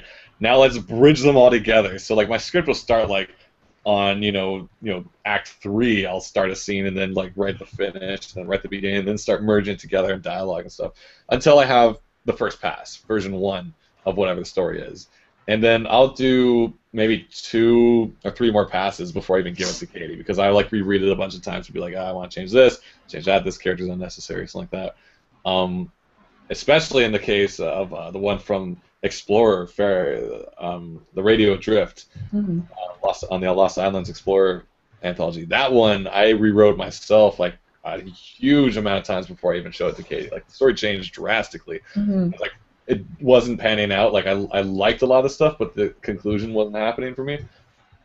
But there's more story to that anyway. Um, yeah, at this point, then at this point, I have a finished, you know, version three or four script. I give to Katie. She goes over, gives her a pass. I take her notes into account, start reprocessing this and that, and kind of from there, it's like there will be maybe two or three more versions, like a six and a seven, while it starts drawing, because some things have to change. And then after that, any other changes to script is just based on drawing, being like, uh, this isn't working. Can he do this instead? Yeah, like because when I get the script and start thumbnailing, um, I might catch stuff that like I don't know if if this like even just for for simpler ways to draw something where it's like I think it would be funnier and simpler if the scene played out like this. So it's it's just having another set of eyes to look at the what's happening and interpret it into the drawing. Because I mean, it's it's like we say it a lot of times. Some people script stuff very directly. Like panel one um, is a shot of two characters facing each other in a coffee shop. Panel two close up as uh, the first character has a disagreeable look on their face, uh, looking slightly down at a newspaper. Yeah. Like you, you don't write any of that stuff. You're just like I'm John, John and Cindy are look in a coffee shop. Cindy looks at a newspaper, and then you let me. yeah. um, I'm not. myself, which I I'm not prefer. so- I, I don't think I could work the other way because I like to, you know, it's like with storyboards. I like to have the script and then, like, go with it. Um, but I know some artists like to have that direction, but I prefer to Yeah. kind of put my own take on it. Well, because some of the writers have like this movie in their head already, where they see every single angle specifically. I'll I'll only do that for certain ones if it's for like dramatic, you know, tension or uh, or humor pause. Like I'll the only times I'll say like this ha- there's like a three panel beat, like an action happens, everyone stares stunned, then someone says something, and that's the only time I will say across three panels this happens because I know like the timing's funnier if it's like that versus me being like it all happens in you know in one panel or whatever. Otherwise, I tend to just say, you know, here's the page, what the characters do and say, and it's basically up to Katie to lay that out however she wants, like what she sees, what's the best angle. I'll once in a while, like, say if there's a planning scene, it's like, okay, this it starts as a high angle, but then after that, it's like go nuts, you know, because Yeah, if it's something Yeah. specific, I'll do that. Yeah, and even that will change too, depending on the layout. But like for me, that's the only time I'm ever really specific is if it's like I really need people to see it from this angle for whatever reason. But the rest of the comic, I'm not too. I'm not strict on at all. I'm not. I don't need. I don't need to be over this guy's shoulder when he says this, over that guy's shoulder when he says that kind of thing. Um, and yeah, but once again, the rest kind of comes from just it being drawn out. Like once we get to a part, we'll have to debate over something and see if it works or not. But Yeah. uh, that's kind of the writing process, and then we send it to Mother for spell check. and she catches so many. Because he catches all the there and there's, and I'm pretty good, but I don't catch everything. yeah, well, because yeah, Photoshop doesn't have the spell check, so if I didn't catch it on the first pass, we're screwed the second time. Yeah. And uh, that's the Shanahan's process. We're making Yeah. Oh, learning. Uh, Boom. quickly, Creepy Porpoise saying, "Darn, I'm heading to Toronto in the three weeks, and Con Bravo is the last thing I'm doing." Cool. Well, uh, you know, I mean, we'll probably be around-ish. I don't know. three weeks. Is that June? Is that in time for TAAFI or It's July. July in three weeks? almost in July. But like, is TAAFI is if she's coming TAAFI's in three in weeks, June. will she catch TAAFI or is that too soon? Oh, um, yeah, maybe. Three weeks from now. Possibly. The TAAFI Toronto Arts and Animations Festival, which is happening June 13th weekend, I believe. Yeah. Um, yeah, it's going to be a fun time. There's going to be uh, a lot of animators and folk coming in to give talks and a lot of uh, screenings, and they're doing their first TAAFI market, which is like a little uh, artist alley, and we will be exhibiting there.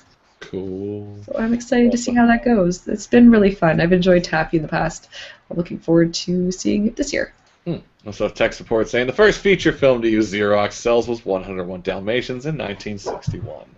That's very specific. Thank you, Wiki. Glad we know that now, everybody. he Oh, does have the illusion of life, though.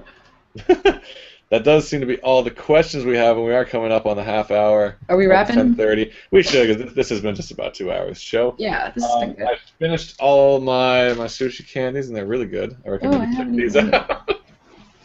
I just kind of like nervously went through all of them when we were talking about art and stuff. I'm like, I get, I get. I assume they're not too different from these though. These Tetris candies are probably the same damn thing. Yeah, I want to try those. Yeah, no, it's good. You're the one with Um, the Tetris magnets on your fridge, right? Yes. I set it up in that maddening thing where it's all lined up, and then there's the one side that's just uh, the sticks, and then towards the top there's like the little T-bar was put in wrong, blocking it. Uh, evil. Uh, cool. All right, so this is Shanahan's Live, of course. This is our recap. TCAF, VanCaf, VanCaf recap. Overall, VanCaf is a fantastic show. If you're in the Vancouver area and you haven't gone yet, it's absolutely free. Hmm. Uh, it's two days of all your favorite web creators, uh, special guest panels and stuff. Oh, Andrew wants to know X Men thoughts. Uh, go see it. I was I was thor- I thoroughly enjoyed it. I have no complaints. Like you know, people could be like, oh, continuity and blah blah blah blah and I'm like, eh, I'm too old for that crap. Andrew, I be- all I gotta say is it's gonna be more entertaining than what you saw this morning. What is that- this morning? Twitter thing. It's, it's Twitter. What was the Twitter name? Am I not allowed to see? it? Oh God, I did read that. Maybe not. Maybe not. I don't know. The point is, it's Sorry, more family fun. Um, off-screen if, stuff. if you're if you're like on the fence, like oh my god, like X Men two and three were terrible, uh, and so was Wolf. Well, no, people like two, didn't they? All right, X Men three was terrible, and so was Wolverine Origins. I didn't bother with anything else and stuff. You know, uh, re- you know, first of all, you should have checked out the Wolverine, not not Origins, but the new one, the Train, because that I watched on the plane. The first half on a plane, and the second half on another plane. That's how it I got you. thoroughly- It didn't let you finish it. I thoroughly enjoyed it. I had a really good time with it. And as I said, I'm like, I, I feel like this is like the Wolverine TV series. I want like every week on HBO, Wolverine is up to something else. Like I would Yeah, enjoy that. fun. 'cause It works for me. Check that out. Um, and First Class, people had mixed thoughts. I thought it was fun. I enjoyed First Class for what it was. And so Days of Future Past, I'm like, check it out. It was entertaining. I enjoyed it. The the beginning intro sequence, I sat there and it's like one of those like you know Mar you know early Marvel movie genetic intro sequences. Ooh, It's like zooming around genes and shit. I'm just like, I thought, weren't we done with this? wasn't this Spider-Man? Well, like all of them were doing it. Hulk was like anger potion, and Captain America was like roids and stuff. It was just like all the intro Just sequences were like roids. going through genetics, and I'm like, I'd have been happy if Captain America was just pecs. Oh, Yeah. Oh, if it was just like you know, like the Batman logo, how it's like going around the bat symbol, Yeah. really close up, so you don't know what it's till the end. If it was just like a real close up of Chris, what's his face's chest, and like the camera zips by a nipple, and there's like there's like names by it and stuff. like Sam Jackson is by like his belly button sticking out. Oh, that'd be the best. it's like we should do that for something. That would be the That's best. hilarious. That's gonna be like when I make a movie, my main character, it'll be like a zip around of his awesome pecs. Um, long story short, yeah. Uh, well, we got Sarah saying my friend worked on X Men and he said they weren't sure what the reception so far appeals to like it. You know, it's it's fun. Like the main thing the Marvel movies had to figure out was not to take themselves too seriously, Yeah. and that's where they were going wrong, and also overdoing There it. There was a funny um, Jim Zub interview from Emerald City where he talks about the um, the Marvel versus the DC, where DC you're like, oh, so that was Batman. I don't really feel very good because it's just so dark. But then Marvel, it's like, oh, it's a good time. You know, you're guaranteed to have a good time. It's going to be goofy. Sure, I'll just go in and have fun. And I think, I, like, I found that like stuff like I don't totally get everything happening in Thor, but I was like, I had a lot of fun. And these weren't Yeah. comics I read, but I thoroughly enjoyed these characters. Like if you're a diehard fan, you're like, that's not how Days of Future Past went at all. Oh, like I can't help you here. I'm sorry. But at the same time, why not accept the fact that you enjoyed the comic and this is a different interpretation of that story? You know, and shut your face and stop ruining it for the rest of us because I had a good time. I enjoyed it. Maybe if I went back over, I'd be a little more nitpicky. But like the main criticism I have is there was the zoom around stuff at the beginning is like a little too much because it's like they're zooming around the genetics and stuff and metal and air hangers, and then they're mm-hmm. like zooming out of stuff, and then they do a scene, and then they zoom out of more stuff and zoom into a jet. I'm just like, this is like I know you made this for the 3D audience, but it's really not necessary. It's really Yeah. stupid. But once like you know, you know, Hugh Jackman has always been charming. Like I really enjoyed. Not Origins, but I really enjoyed the Wolverine. It was a fun movie, and I want more of just him bumming around and doing stuff. Hmm. So uh, I recommend checking it out. Full review, check it out. Thumbs. Uh, we also have Molly saying, having this on in the background helped me finish coloring this page of my Yay! webcomic. You guys chatting helps me focus. Uh, so thanks, guys. I'll have to make this a weekly thing for coloring on Photoshop while listening to you guys. Please do.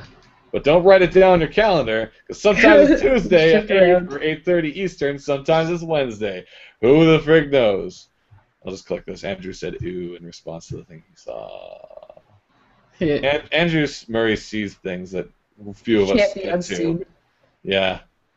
He's, send, that, send that boy some Nutella and Pop Tarts. He needs some, needs some cheering up. He's so Old Town comfort.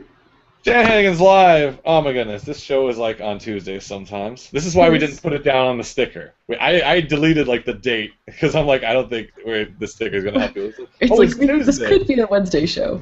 Yeah. Um. It's it's the ebb and flow. It's it's the. I'm trying to think of one of those like inspiring Disney quotes where it's like the, you know, the little leaf is in the pond and it's alone, but in spring it will have friends, and it's like oh. We that are didn't happen in Mulan, but the point is, you will bloom and kill Shere Khan or whoever. I don't know. Point is, Sean Yu. that guy too. All of the Disney villains Mulan is out to get. She is an assassin, and that would be my favorite miniseries. Oh, This show happens. you want to check it out. Uh, oh, we got Uncle Si popping in just now saying, Phew, only just got here, watching too much movie Bob. I do too, but I, I unless I all right. There's there's movie Bob from The Escapist with his uh, big picture, which is good because it's usually talking about comics. He actually did an episode on She-Hulk, which is really cool. Uh, head over to The Escapist and look up movie Bob uh, for uh, the big the bigger picture, the big picture. And his other show, of course, is the review show, which I don't watch if I know I'm seeing. I basically, if I know I'm seeing a movie anyway, I don't watch the reviews. And Mhm. you know, because I'd rather Well, I want to for watch it myself. and see what I. Yeah. because I was even reading some people's like thoughts on uh, the X Men movie on Twitter, just like, oh, this character wasn't necessary and stuff, and then that's in my head when I go to the theaters, and I don't you want to be that able to feel it. because I I fear. All right, I'm gonna just say this quickly. The thing I fear and hate about reviews is they do give you pre like pre notion of mm-hmm. how you're going to experience the movie because you're like, oh my god, the scene where you know the the kitchen where this happens that was so distracting. Then when you're watching the movie, you're looking for this. You You're should read for the thing they said. You should read like, is it good or is it bad? It's good. Okay, I'll Yeah, check it out. And then afterwards, you check to I- see if yeah. you agree with the opinions. Like I, I avoid reviews a lot. Like the thing I just need to hear is more of the word of mouth. Just being like, should I see this Spider-Man? And most people are just like, oh god, it's boring. Don't do it. And I'm like, okay, I'll wait till I'm at home to see it. Yeah. So that's all the review or need. we can watch it outside at Comic Con again next summer. Because I actually really enjoyed watching uh, that last uh, Spider-Man just because we were outside under the stars and Yeah, we were sitting in friends this around. Little have candy. this little market outside of San Diego, just by Yeah, the by the water. harbor. There's fireworks and there's Spider-Man playing by a fountain. Yeah, it was sitting fun. by a puppet shop. Like, what magical Pinocchio world is this that we're watching Marvel movies in? Not everyone can have that experience though, so it's biased. Uh, we also have Molly saying, actually, it pops up on my cell phones when you guys have a live stream. It's pretty Oh. awesome. Good. Thanks, Google Plus. Finally, someone likes Google Plus for some. it does remind you when it's time to go on. Yeah. the books. Oh my goodness, we had them. We sold out of uh, all the Silly Kingdoms we brought, but Ooh, ooh, we uh, guarantee you can still get yours. Uh, go to sillykingdom.com Yes, right here. under Katie's desk. Right here. Silly Kingdom. What? That. What did you say? Alan Oh, yes. Pro- spelled pronounced just as it says. As Alan la, Grimrickshaw's la, la. 211th birthday. Uh, this, is, this is the book that you want. Actually, I can just click your camera so you see it. Yeah, just click This my is the book that you want. Go to sillykingdom.com, spell it like it sounds. You can get this. You can also pre-order. I don't know if we have any more, uh, any more of those postcards. Uh, give me a sec. Coming soon. We'll switch to me then. Coming absolutely soon. Silly Kingdom. It's not actually called Silly Kingdom 2, but for now, I'll just be Silly Kingdom, the follow-up. A new steed indeed, which Katie has just got her hands on. Uh, one of these lovely postcards, of course. The cover colored by the illustrious Jason Caffoe. The delightful, Uh, yes, breathtaking Jason Caffoe. the uh, magnificent indeed. Jason Caffoe. The, the marvelous. The Jason stupendous Jason Caffoe. I'm just thinking of like Marvel things now, where it's like the incredible Jason Caffoe, the Jason Caffoe, the Daredevilist. Uncanny Jason Caffoe. Thank you. Uh, you're gonna want to go to sillyking.com and pre-order that, and you can get a copy that has it signed and stuff. Yeah. Oh my goodness. What else? Signed and stuff them. That one Um, too, yeah. We got the yeah, Shrub Monkeys Monkey. books too, of course. You want to uh, you want to Mhm. catch up. You want to collect them all, have them all in one place. You want to get yourself a Shrub Monkey book, and you can also order that not at the Silly Kingdom site, but you can go to the Shanahanigans website, Mhm. S H A N A-H-A-N. I G A N S Yes. dot com. Um, Uh, and then you can actually order these on uh, the Shanahanigan site as well if you choose. So you, we can bulk them to bundle them together and save you on shipping. Yeah, well, yes, I We, we keep the Silly Kingdom uh, shop separate just because sometimes it's parents will come by and they'll be like, "Oh, Shrub Monkeys, is this good for kids?" And I'm like, "It's not not good for kids, but it's about a 20 year old's lifestyle, Yeah. so I don't think they'll get it." Our lives are terribly interesting to these kids. We're like taxes, and they're just like Digimon. yeah, I'm like, there's a little bit of swearing. Like I took out the bad words, but I'd say it's more PG-13. Yeah, yeah, there's a little, little cuss mouth going on there. Uh, you want to get that too. Uh, upcoming events: uh, TAAFI, Toronto TAAFI. Arts Animation. Animation Festival. International. That's that's coming up in June, and we're gonna have a table there. I don't know where it is. Do you know where it is? Uh, I think it's at the Corus Building on Queens Quay. But the information will be on the site, T-A-A-F-I dot com. Oh, actually, we got a quick question here from Lillian. Uh, have you seen the project called Miss Officer and Mr. Truffles? Yes. Looks interesting. Not only did we see it, we met like a whole bunch of the creators Yeah. uh, who are over at they're actually at VanCaf, and uh, Yeah. they gave it. Oh, I have a button from it. Where is it? I got a button. Whoop! Look at that buttons. Do you have it clicked on you? Uh, no, but here it is. Ooh yeah. So you want to look that up? Basically, it's about this officer lady and a bear, and Named they have adventures named Truffles. Yes. It looks Uh, adorable.